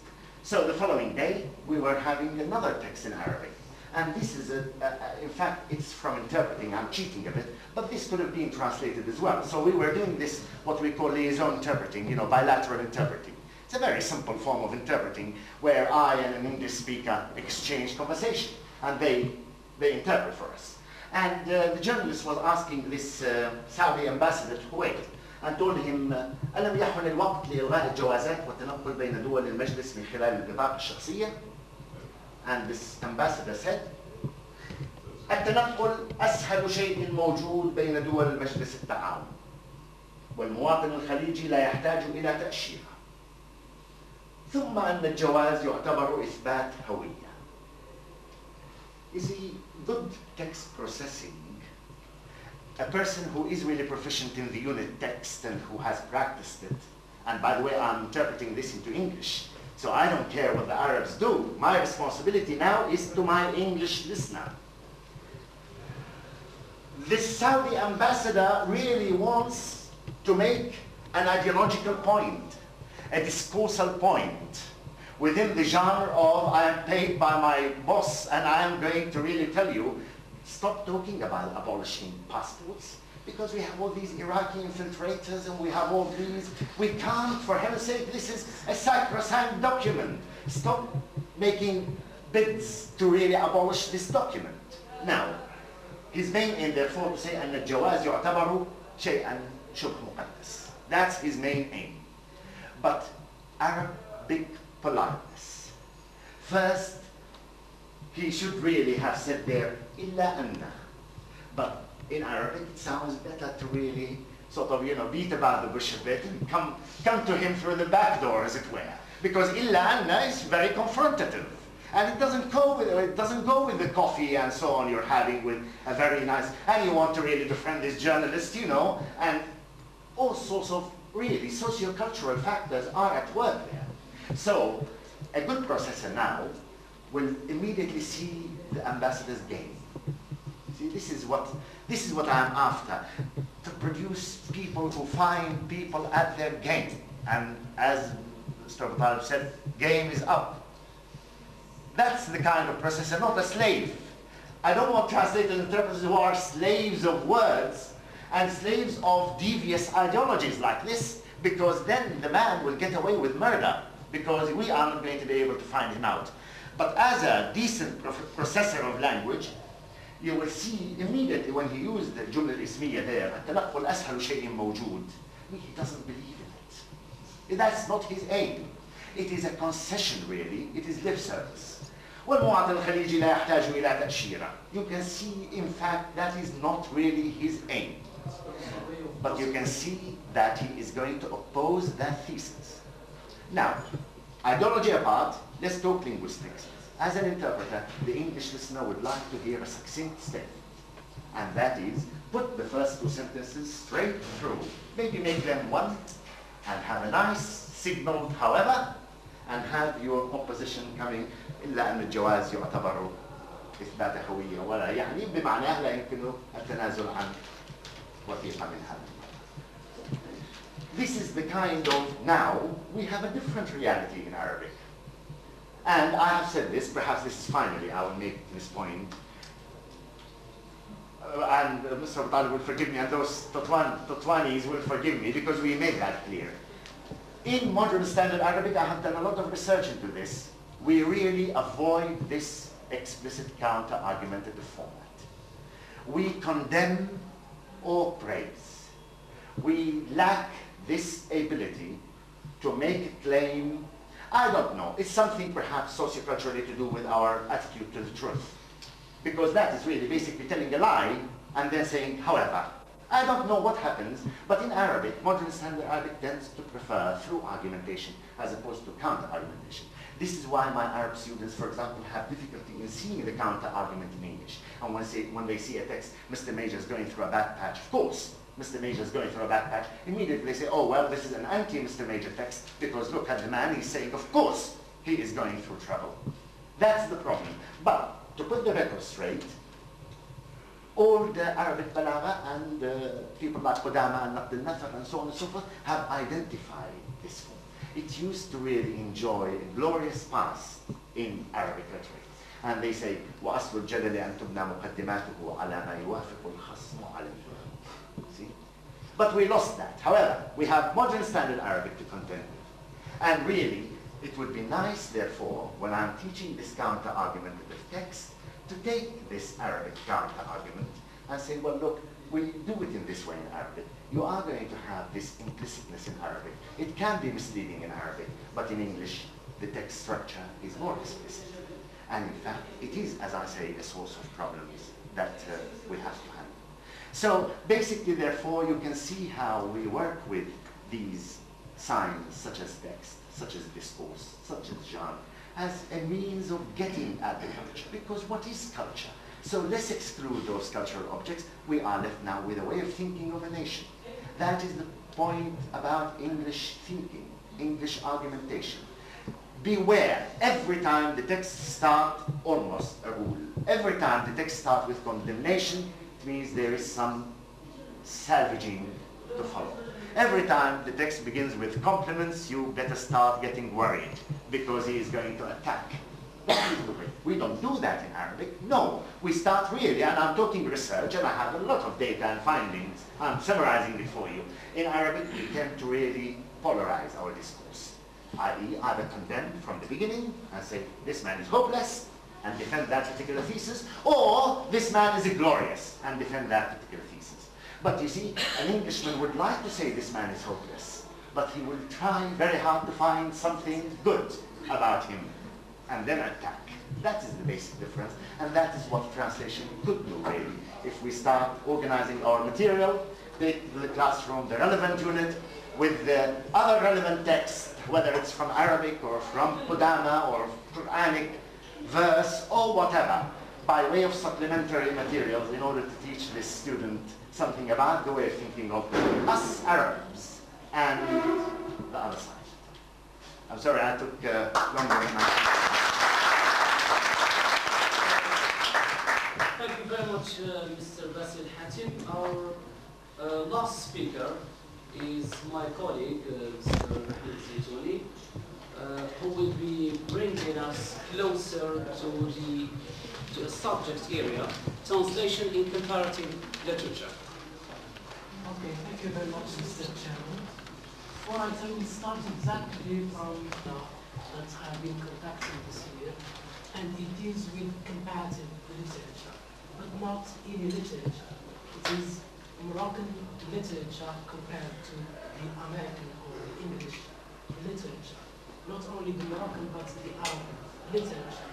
And so maybe the, the the idiosyncrasy, if you will, or the peculiar nature of this type of practice does come from the, uh, the fact that we don't have any sort of tradition that would sustain this type of practice. And so I have heard some of my colleagues in some, some conferences, especially in France, talking about the, uh, uh, the insertion, if you will, of comparative courses of comparative literature in the English departments in Morocco. And so maybe this is because I think, and I do fully support this view, because I think it's it's high uh, it's high time you want to start to look inward, if you want, or to look around us. And maybe this is something that uh, that is very important because it, it would create a sort of interdepartmental uh, cooperation, if you want, between departments, especially uh, between the English and uh, the English department and the Department of Arabic Literature. And so some of some, some of my colleagues in, in, in the departments of Arabic find this sort of uh, cooperation very important and they do highly appreciate it to the extent that they say, uh, they say something that, that may look, if you want, very obvious, but its implication is, uh, uh, uh, its great. Uh, they said something like the fact that uh, the, the Department of English seems very close to the Department of Arabic. And maybe that it doesn't talk about the, uh, the building of the department, of course, but it talks about the people, if you want, working, or the subjects, if you want, in this department. And maybe this is something that uh, that can be, if you want, can be exploited because they would, if you want, they would learn from us, and we would, if you want, learn from them in the sense that, especially in terms of literature, which is my specialty.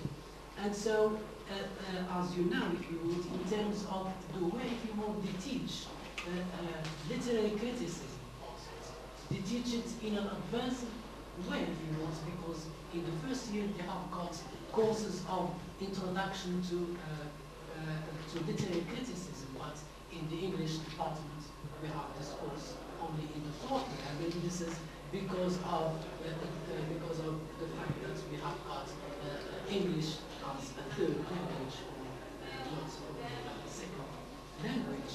And so the way you want they would learn from from, from this cooperation or this type of cooperation in terms of research is that they would learn if you want from us in terms of the, uh, the way, if you want, they would translate. Because, as you know, the, the courses, you want, especially in literary criticism, the courses in literary criticism in the Department of Arabic are based on some works, if you want, which would be regarded as old-fashioned, if you want, in terms of the English literature or English uh, criticism. And maybe this is something that would, uh, would be uh, relevant in terms of this cooperation. And so maybe to go back to this type of type of comparative study, if you want, that I have been venturing, if you want, to introduce in this department, uh, we, we have we found, if you want, some some uh, difficulties, in terms, and maybe this is something that is very obvious, and everybody involved in this uh, translation would, would find, but maybe the, uh, the main difficulty, if you want, is this uh, scarcity, if you want, or, of references, and maybe the, the, the main problem, if you want, is that the translator, maybe here I do think of the, uh, uh, the Moroccan teacher of English, if you want, as somebody who is in a good position, if you want, to, to be dealing with this type of study because he is aware of his own culture and has got at least a substantial uh, uh, knowledge in the English uh, or the American culture. And, but the, the, the main problem is, is that the, this man, if you want, or this scholar, is his own reference. And so he is left to his own uh, uh, conscience or to his own will because he would be the, he would be the center, if you want, and his own judge. And maybe this is something that would be a, a, a, that would be a type of uh, violence, if you would committed against uh, against the work of literature, especially the, uh, work of literature in Arabic, if his working language is English or the other way around. And so maybe this is something that, uh, that, uh, that I would invite you to discuss uh, concerning this position, if you want, of the, the, this scholar of this Moroccan uh, or Arab, if you want, worker in this type of research.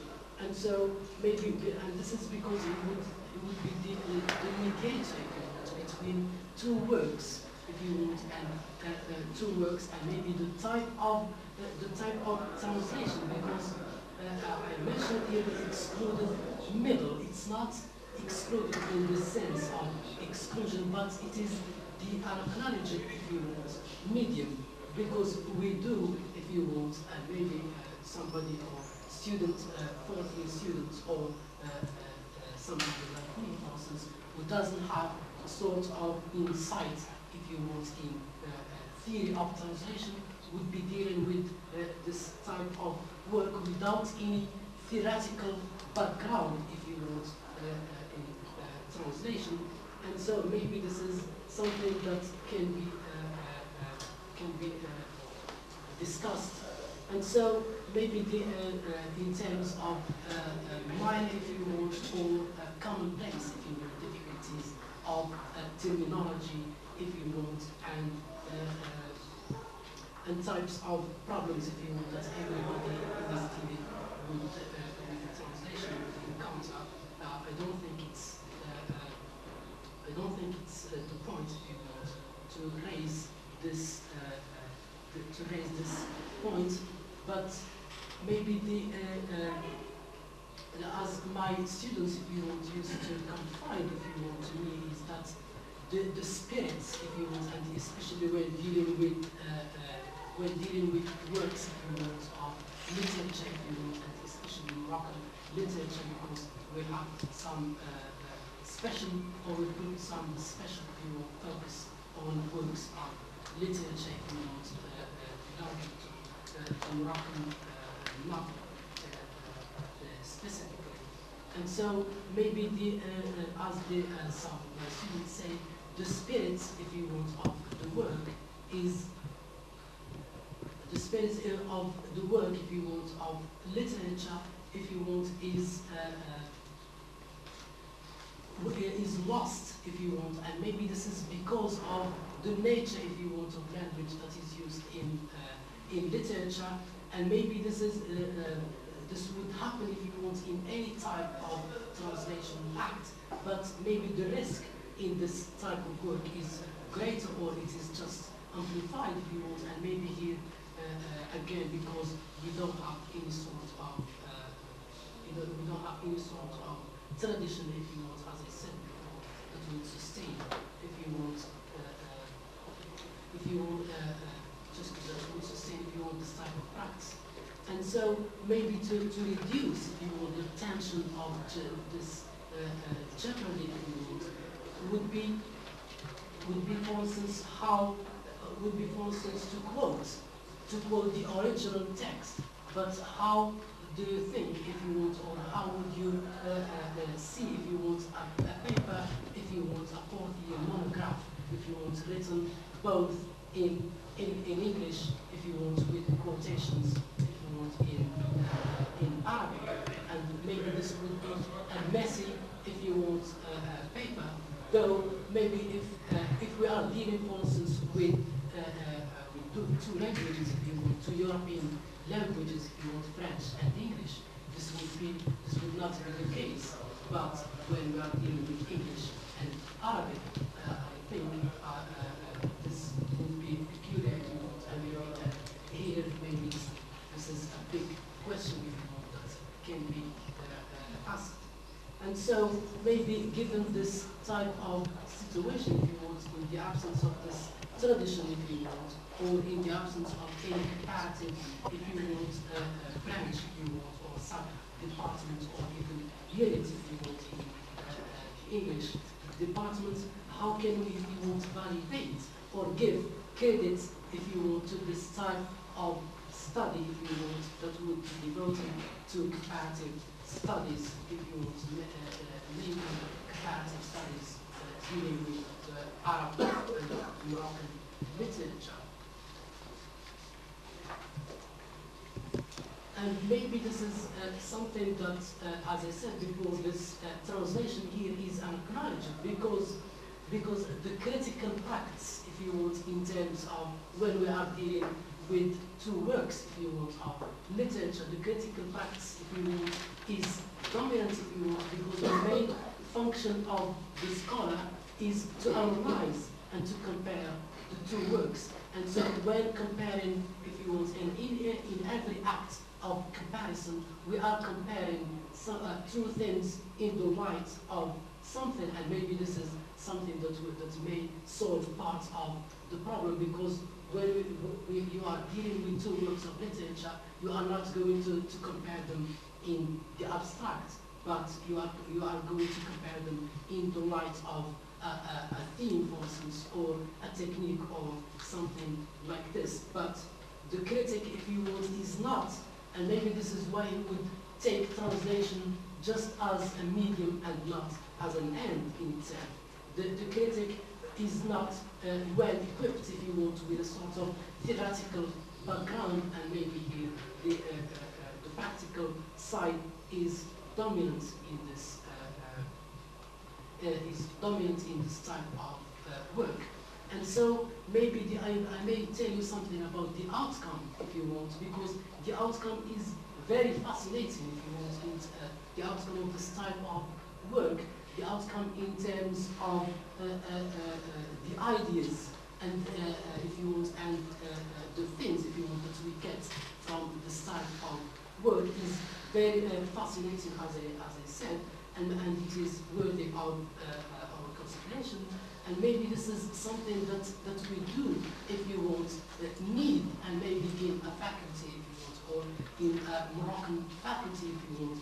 And maybe the, uh, this is something uh, that, uh, dealing with this, the question of originality, and maybe this is uh, uh, and background, if you want, in the writing or the Moroccan writing, because we have got, if you want, and maybe because of this absence, if you want, or uh, and maybe especially with the Moroccan uh, uh, writing, we have got this contact with the French, not the English, and maybe uh, uh, uh, the Arab, if you want, or East have got, if you want, this this sort of contact with the English literature.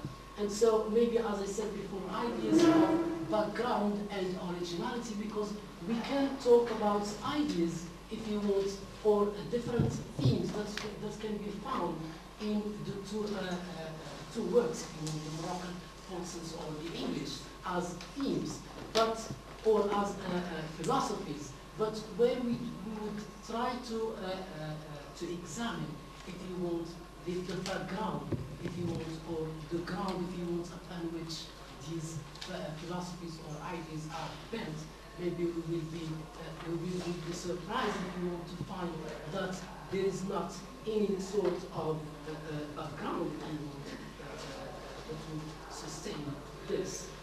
And maybe this is this idea of uh, we have dealt with uh, this comparative study in a synchronic way, or it has got a sort of synchronic aspects because we did not busy ourselves you want, with the, uh, this, uh, the study, if you want, or research in uh, uh, this sort of historical development, if you want, for instance, of the, uh, uh, of the Moroccan novel, for instance, or the American novel, because this, this type of research, if you want, would lead us to another area.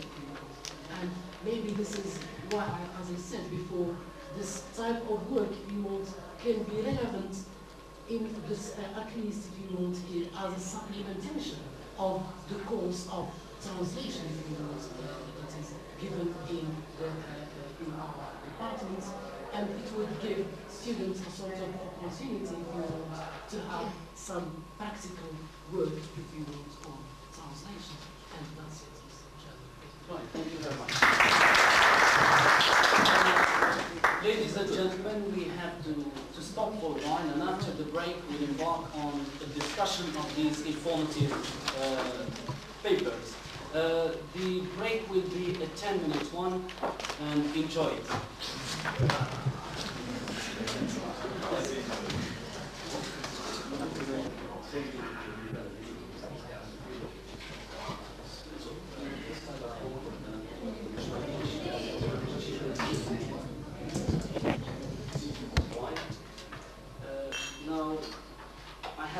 Have announcement here which, which has a certain priority.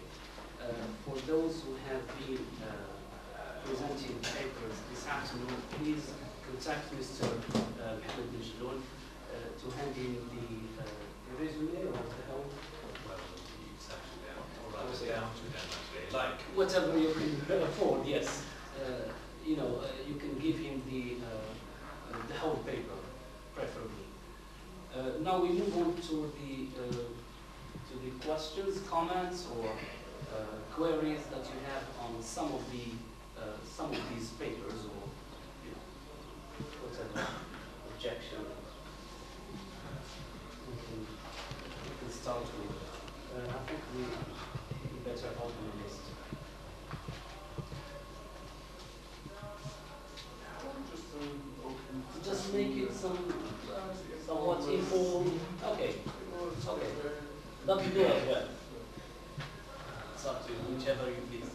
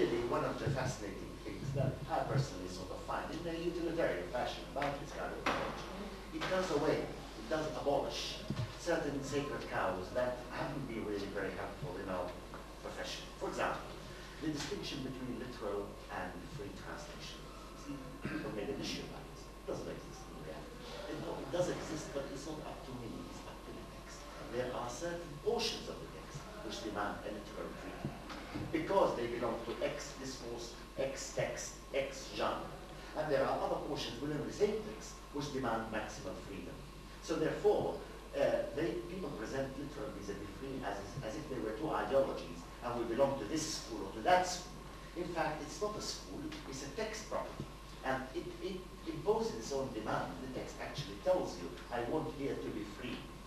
I am stifled. Or you've got to really adhere to it. Within the same text, of course, there are certain texts which lend themselves to this, certain texts. But I really argue that within the same text now, the other sacred pair is literary vis-a-vis non-literary. And perhaps here I'm treading really on dangerous ground. I honestly think that a proper text processing strategy by way of teaching and training students in it will render distinction minimal and helpful, even negligible. Because the job of that literary text producer is to depict a particular kind of reality and have two protagonists on a particular stage.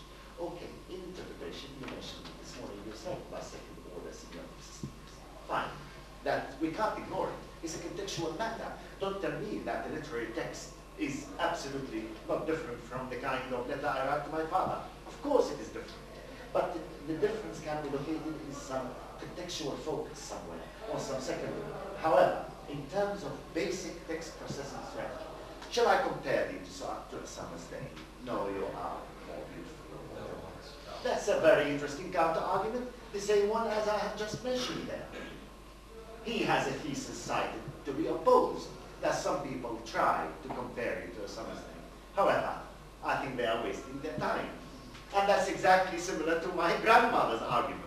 So, Shakespeare, my grandmother, this chap, and so on and so forth, in terms of the essential text processing strategy, is one and the same. Now, as a literary translator, perhaps I'll be doing more, perhaps I'm a more comfortable perhaps a prestige. Of course I'm going to handle Shakespeare as Shakespeare, and not some man in the street. But really, before starting Henry Shakespeare Shakespeare, I started Shakespeare as the man, the counter-arguer, the same as any you see, that's really uh, the, the, basic uh, notion. So these distinctions, we've got to really take them with a pinch of salt. Yes, yes. Yeah, uh, because if I may just add something, I mean, I always start from the assumption that, uh, we say in Arabic, uh, اللغة الشعرية والشعرية يعني يعني اللغة الأدبية تعتبر دائما مستوى ثاني لاستعمال اللغة في التبليغ. It's not you know the innocent, straightforward uh, means of communication, and that's why, as I said earlier, this the, the, this interpretational and translational as well process go together No, we're not, way. no, we're not ignoring that secondariness. No, no. I mean, you know, otherwise, I mean, what- what's literature, what's not. But in terms of basic text processing strategy, we've got really, and you see, we, we have no time. And where is this uh, literary translator? Which institution prepares literary translators? I defy them if they can do it. Of course they can. So let's cut our losses and prepare people in some skill that's durable that will suffice them if they want to be technical translators or literary translators or whatever their hobbies or interest or career take them. This is not really the job of a training department. Our training in six months is to give them the maximum minimum of time. So we train them approximately. Of course, if you want to put it that way, there are certain things which have currency. You know, there are certain units, these units I've been speaking about, they have mileage. And then, you know, you go and do what you like, of course, within, within these parameters we set. And one, if I may just end on a personal note, you have these few people, you know, not Nagmi Luka, beautiful translator, defies any text linguistic approach. And he would himself tell me, oh, well, look at it. But I've never had any training in text linguistics. And they use that as an argument against text linguistics. But he has 60 years. I have six months. I've got to cut corners. I've got to. And, and I've got to rely on the kind of linguistics which takes me possible. Not, not, not, uh, not anybody who knows the language has knowledge of two languages can be a translator. But anybody can become one. Provided, provided he is being trained. Uh, just as uh, an applied linguist not have to be necessarily linguistically trained. You can have a, a literary, literary trained man and a physics trained man, and by training, by proper, appropriate uh, uh, training, he can become an applied linguist. If applied linguist means teaching English for specific purposes, establishing lexicons for a particular purpose, teaching the terminology in a particular institute, and so on. And here I would like to go back to two points which were raised by uh, Mr. Sophia and Julie, because we are concerned with the teaching of translation in the English department. Uh, I never myself, I never considered myself compartmentalized in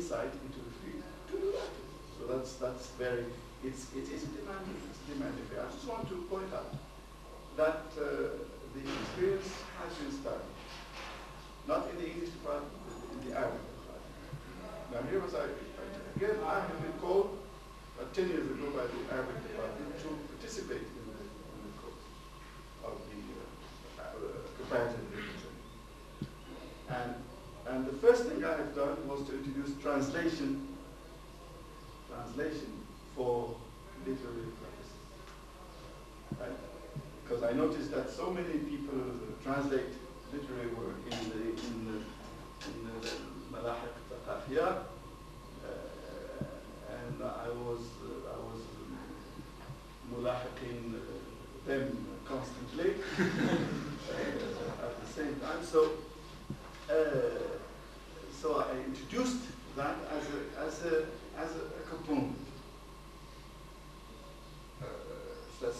Delush, the Wallach theory of literary criticism, uh, step that, that I would see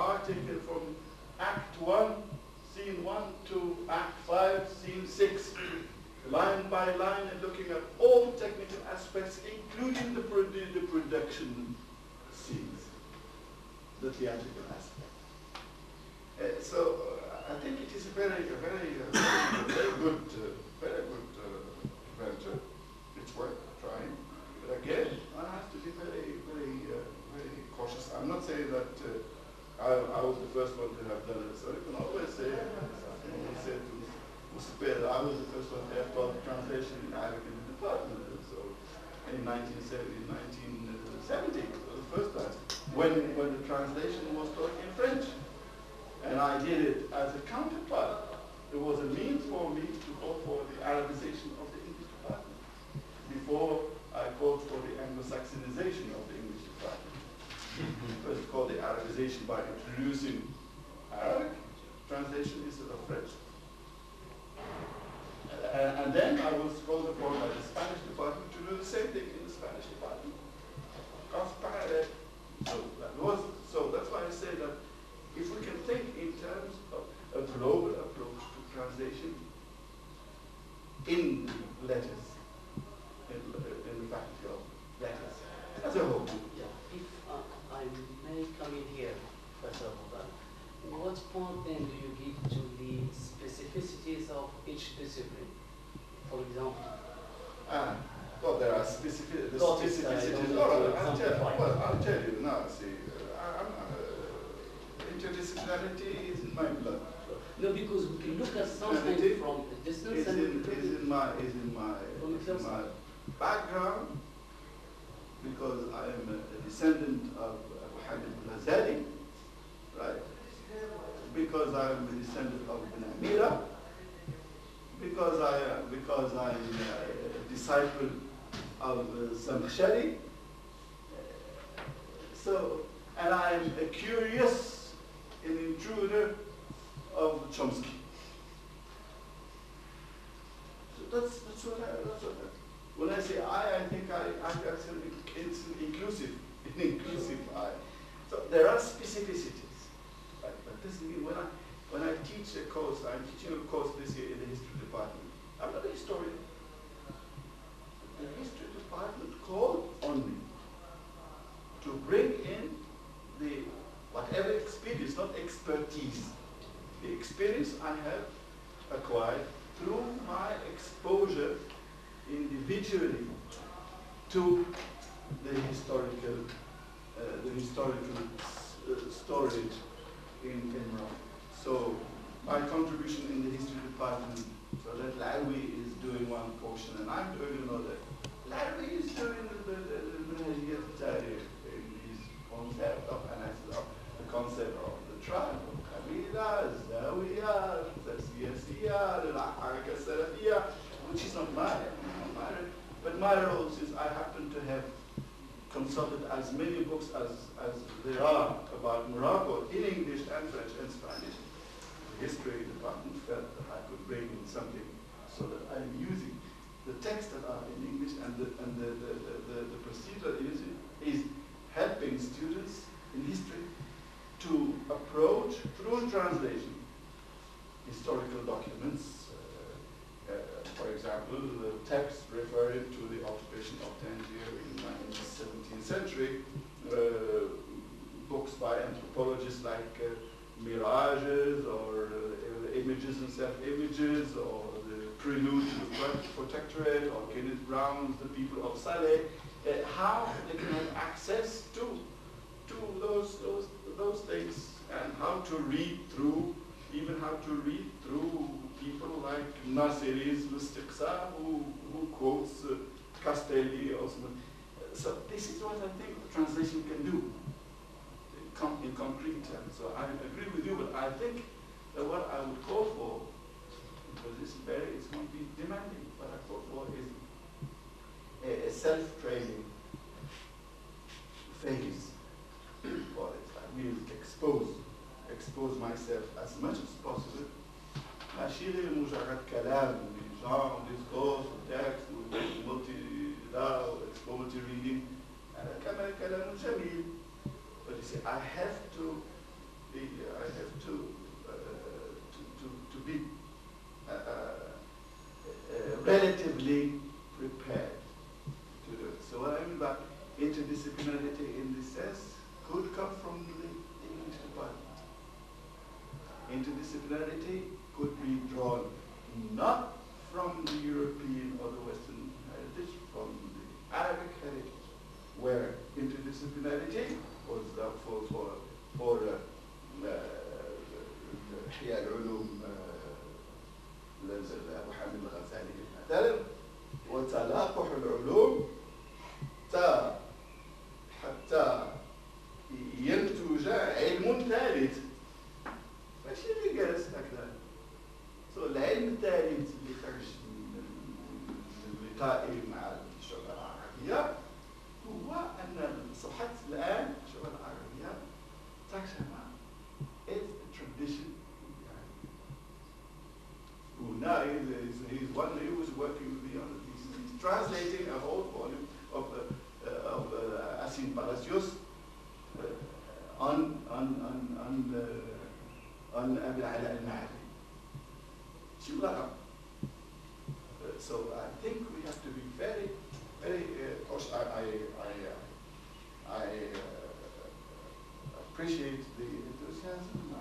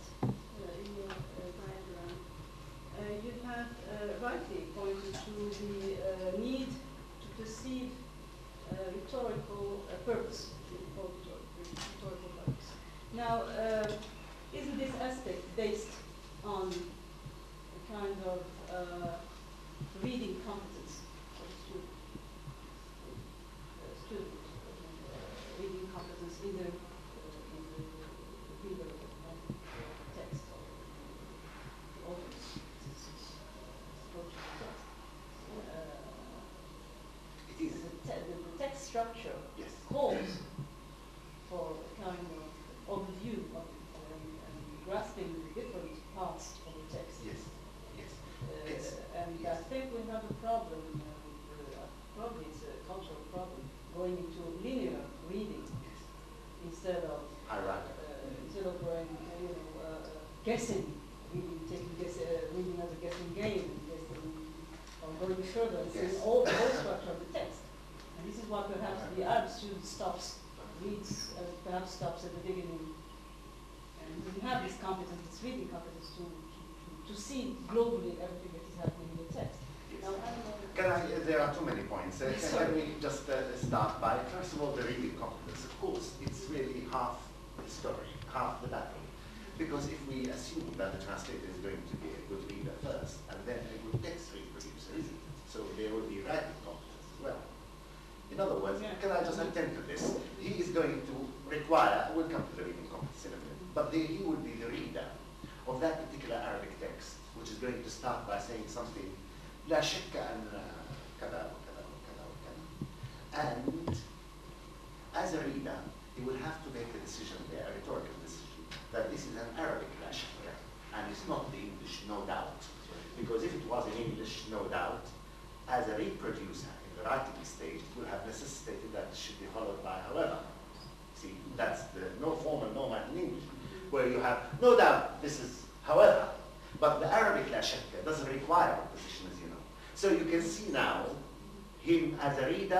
him as a text producer, and in between him as a decision maker.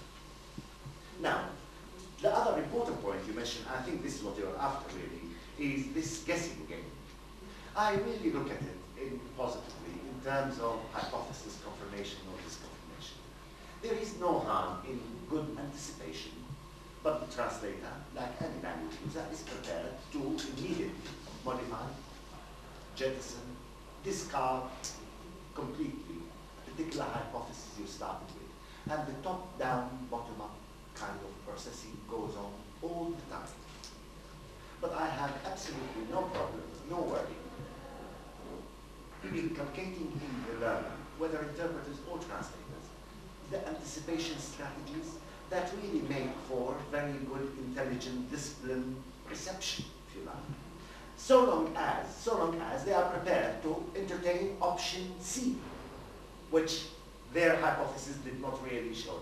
You see, we are at the mercy of the text producer. Interaction makes its own rules. I don't know what he is going to say next, but I have a good feeling that most probably he will not be saying that because we've had enough substantiation, because he signaled his opposition, because he is not really interested in the claim. In fact, he's only paying lip service to the claim.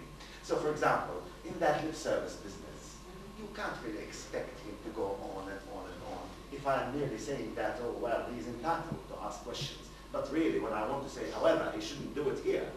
Now, this entitlement, I can't really spend half an hour talking about his entitlements. Otherwise, the text will change from something to something else. That really my aim in talking is to talk about his entitlements. My job is not to talk about his entitlements, it's to talk about his non-entitlements.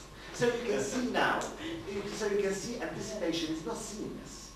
There are certain parameters. And by the way, talking of textual competence, I really think this develops. And there are people with minimal, you see, in other words, back to a very basic thing I said, other texts. You see, the more he's, the more the student is exposed. You see, people, I have people who get this format wrong. They have never seen it. But they will see it. And tomorrow, and more importantly, you see, I'm forward-looking. These experience with text is not only that, oh, I've read Agatha Christie. No, I would like them to go out and when they see an Agatha Christie novel, they will say, ah, this is a a potential element one day that somebody is going to use somewhere and for retrieval of which I need to really know. In other words, everything around us becomes meaningful. You know, I listen to the radio.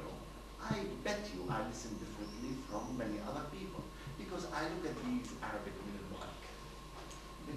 al and then I know the text producer in Arabic is going to use an Arabic min And after the Arabic min you go on and substantiate. But in English, imagine you are simultaneously interpreting that min and you're going to say, certainly. In English, you know that certainly as text definition requires however. No doubt it requires however. Now, you see, now if you can send students home to listen to the radio in that way. I know I'm making life miserable for people, you see, I'm really cutting, cutting down on their enjoyment. But I think if we make people sensitive to everything around them is meaningful, and one day is going to be called upon, I think we are producing textually competent people, you know? But it seems that it seems to me that you are talking about matrix. Yes. Okay. Matrix, for example, is rules whereby you uh, you have, for example, if you have something, if you have X, you have Y. Yes. But suppose that the text breaks this anticipation. Breaks the anticipation. You anticipate something, but you're wrong. Yes. And this especially happens in literary texts. Yes. When you read the defamiliarization. Defamiliarization. Yes.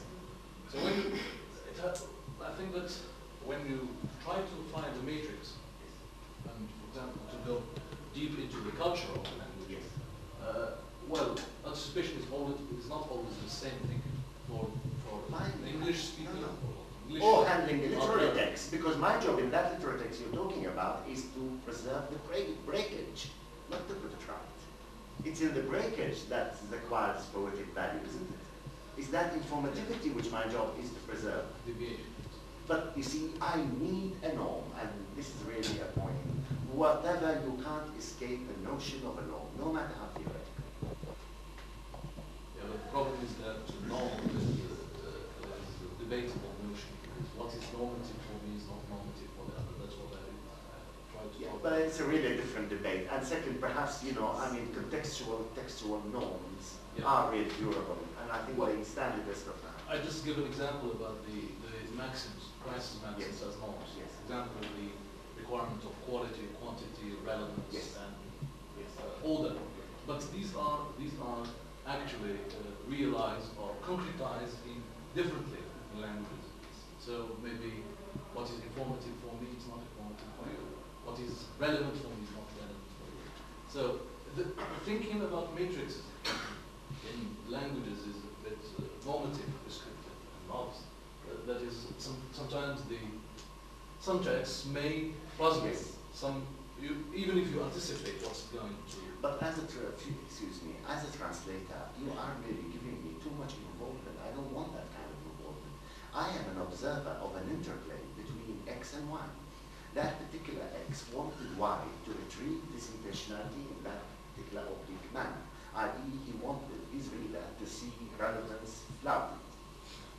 My job is to say, how can I make my prospective Arabic reader observe relevance flouted.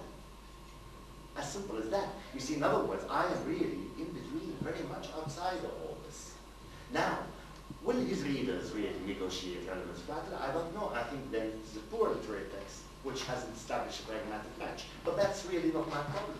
My questions are simpler, really, that there is some attitudinal meaning that this particular author wanted to emerge out of some flouting of some maxim or other.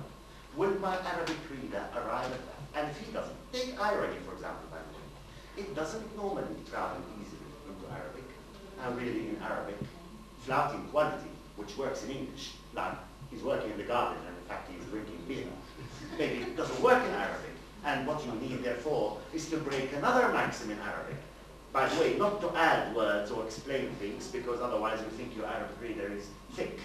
No, but break another maxim. So I think in Arabic, I've done some work on this. What is flouted by way of quality in English, in irony, is made up for in Arabic by flouting quantity.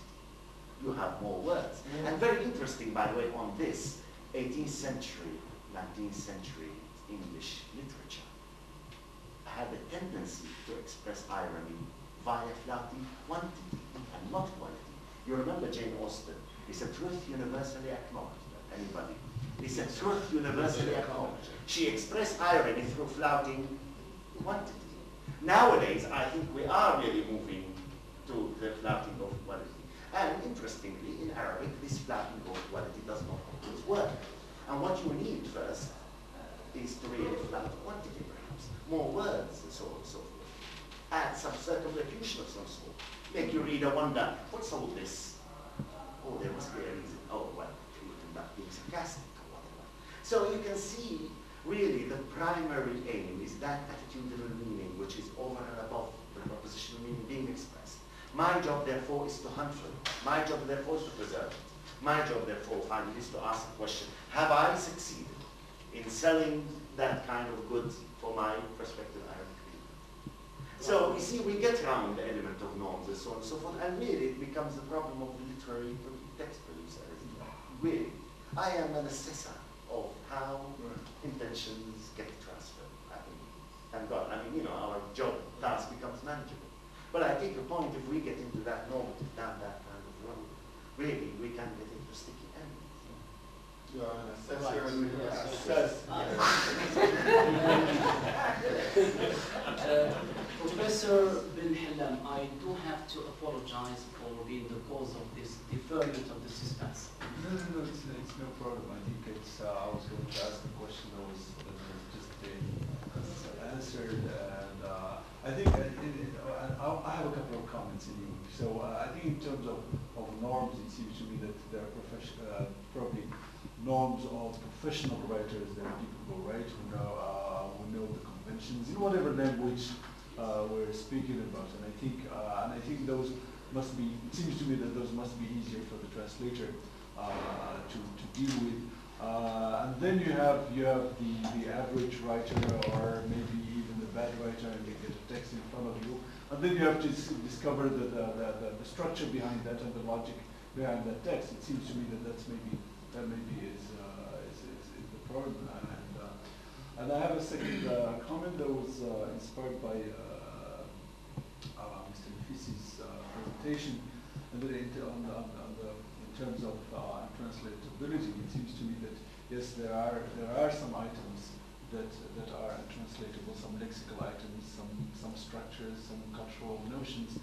But I think, as uh, as uh, Mr. Hatim said, uh, that I think the context basically uh, deals with that. Even if you have an untranslatable item, uh, the, you can still get the flavor of the of the, of the text, whatever the the initial uh, the initial writer was getting because of the context. If you lose something, maybe that you lose something in one place and you gain it elsewhere. It seems to me. I'm I'm thinking every every time I read I read uh, a novel on, uh, for example, on Morocco that is either translated from Arabic or something like that, and I read it in English, and I I, I get the exact when it's well done, I get the exact flavor that I'm supposed to get. And I think I think that's that's it seems to me that that's really not not a big problem. I think instead of really attacking the individual items that are giving us problems, maybe we should look for where we can make up for for, for them.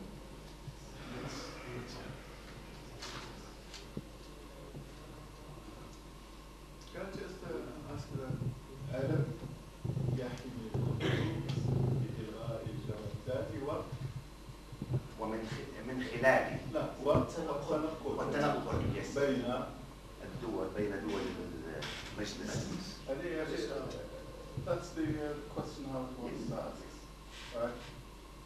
I'm surprised that the uh, the Arab answer is correct. Because the question poses another issue, which means that see, there was not there was no communicative link between the, the inquirer and the respondent. To pay attention to the question. but isn't he Because the, con- the, the, yeah, the context was the, was the, uh, the, the, the, context was the governing element.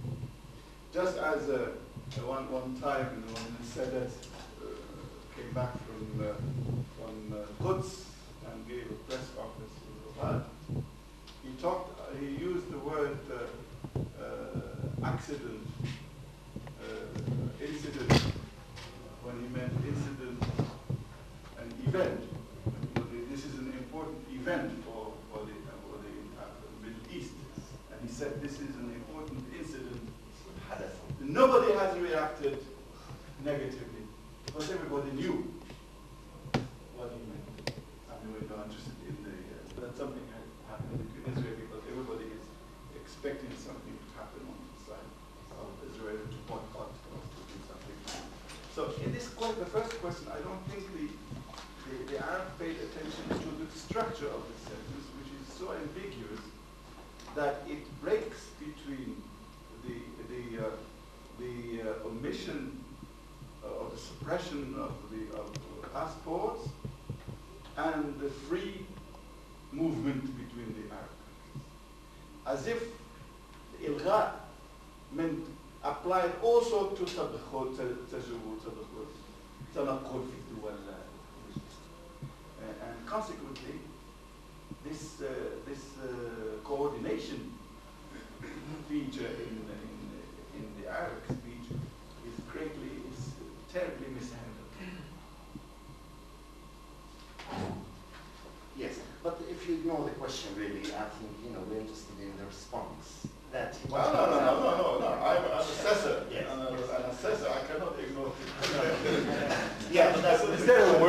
There or something? Pardon? Is there a word No, no, missing the nothing question? is the structure is perfect together, but the content, the content, the content lends itself to uh, ambiguity, which the, the uh, which the context did not. I'm sure there, there, there are other questions, preceding questions, Yes, that yes. the same topic, so that the, Yes. the content, Yes. the context. is- Takes care But of if you take this sentence by itself, No, I'm sure, yes. Right. So uh, this, this is what, this is what I referred to in this in the, the transfusion of the, of the, of the item from one uh, from one uh, context to another. This this morning, for example, uh, Williams and uh, and then he used two terms, which uh, which made me uh, which made me jump a little bit from from this sensitivity of the intellectual when when the transfer occurred. Uh, Williams used the provenance of this word.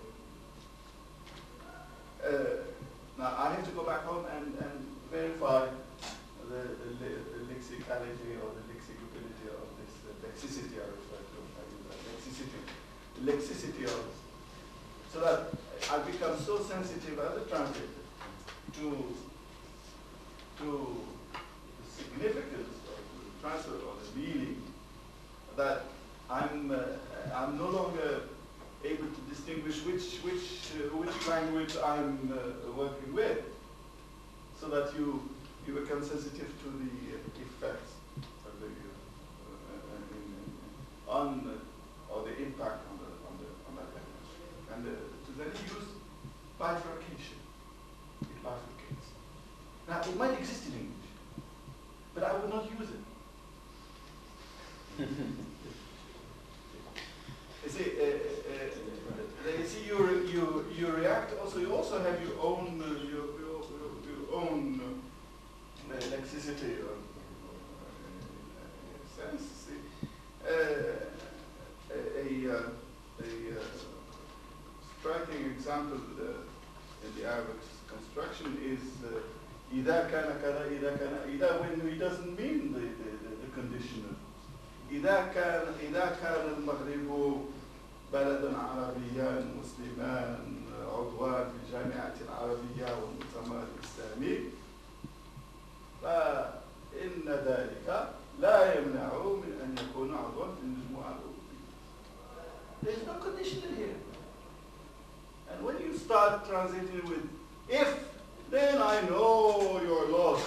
the minute you start with if, and you don't look, you don't have a, you don't have that diagonal uh, look at the sentence, then you, uh, likewise, I'm, I'm sorry, Yeah, this is sorry, a- in the midst, in the midst of the, of the things, and I'm also uh, answering, uh, Yes. uh, responding to some pieces of uh, specialized TSP, and uh, TSP is the translation for specific purposes, so that uh, we, we should uh, should be concerned about that too. Training in the English department, we can train we can train in the English department, we can train people to be uh, uh, experts or specialists in history. Another one in uh, literature. Another one in geography. At least disciplines which we have in the in the uh, in the uh, in the faculty. And, and again, the specificities of the uh, of the uh, uh, of the disciplines. I'm not going to do it myself. I never claim. Uh, they, they are working. They are working on different disciplines. Uh, one is working on agriculture, one on medicine, one on uh, literature, and they and they uh, they don't rely they don't rely on the information I give them, which I can, but they have, they, are, they are consulting experts and they, they, they, they, they go to the school of agronomy, school of medicine, one is working on Lieutenant B, he has to, to, to have appointments with the professors on, on uh, Arabic prosody. Uh, I cannot do all that, although I know, I know, I know some, it is interdisciplinarity that is uh. Uh, when when uh, when I said neurology, I, I had long sessions with uh, Shkili for quite with uh, with, with another uh, uh, with, with the Swag, the late Swag. I had sessions with him on on the organs of speech. And he, he died, and he still had my Daniel Jones uh, with him. uh, in his. Because I he wanted to find out what I was in later, so he had like that. You know, yeah, uh, The School of Physics has been my reference in, in acoustics and, uh, and uh, so you have to, you have to, you cannot, uh, you cannot do it own. So you do need uh, TSP, translation for specific purposes, and you do, you do need uh, a, uh, a training.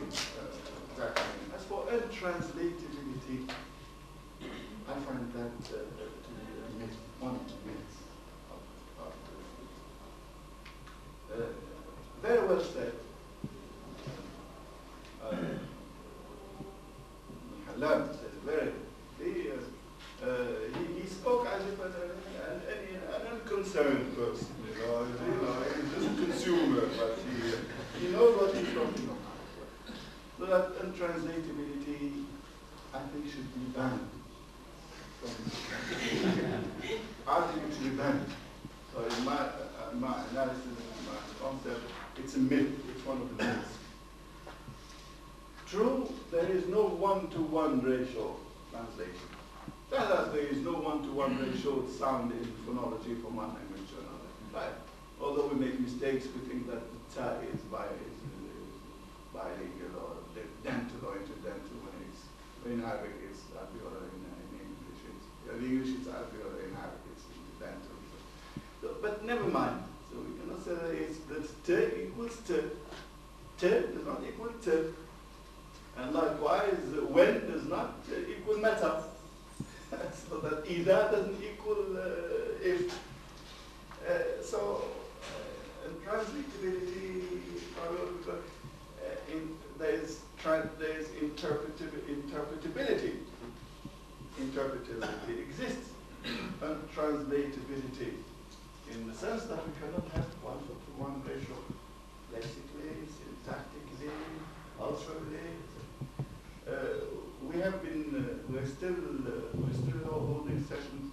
I hope they have stopped. We have, still will continue uh, next week. We are finishing, we're looking at Othello. Othello as studied in the English department.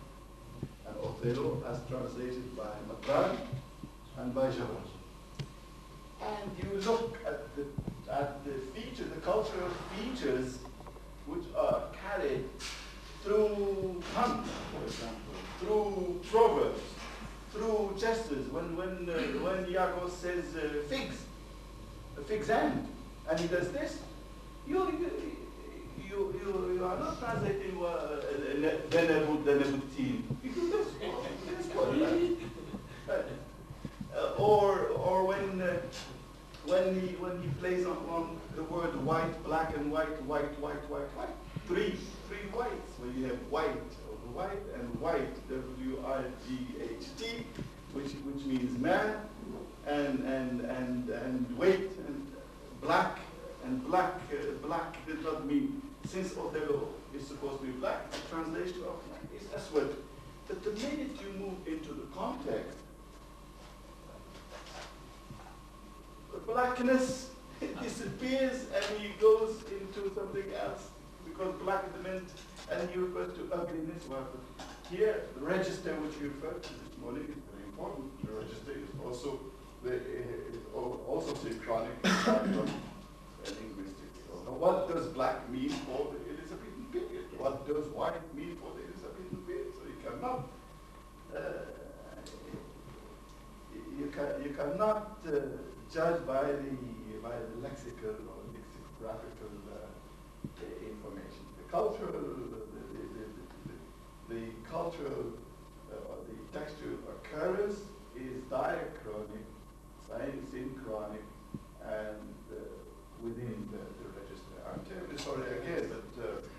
Professor Hatim, I know you certainly want to react to some of No, not really, but very, very, no. I don't, I don't want to monopolize. Sorry, no. But just a, a very quick thing. and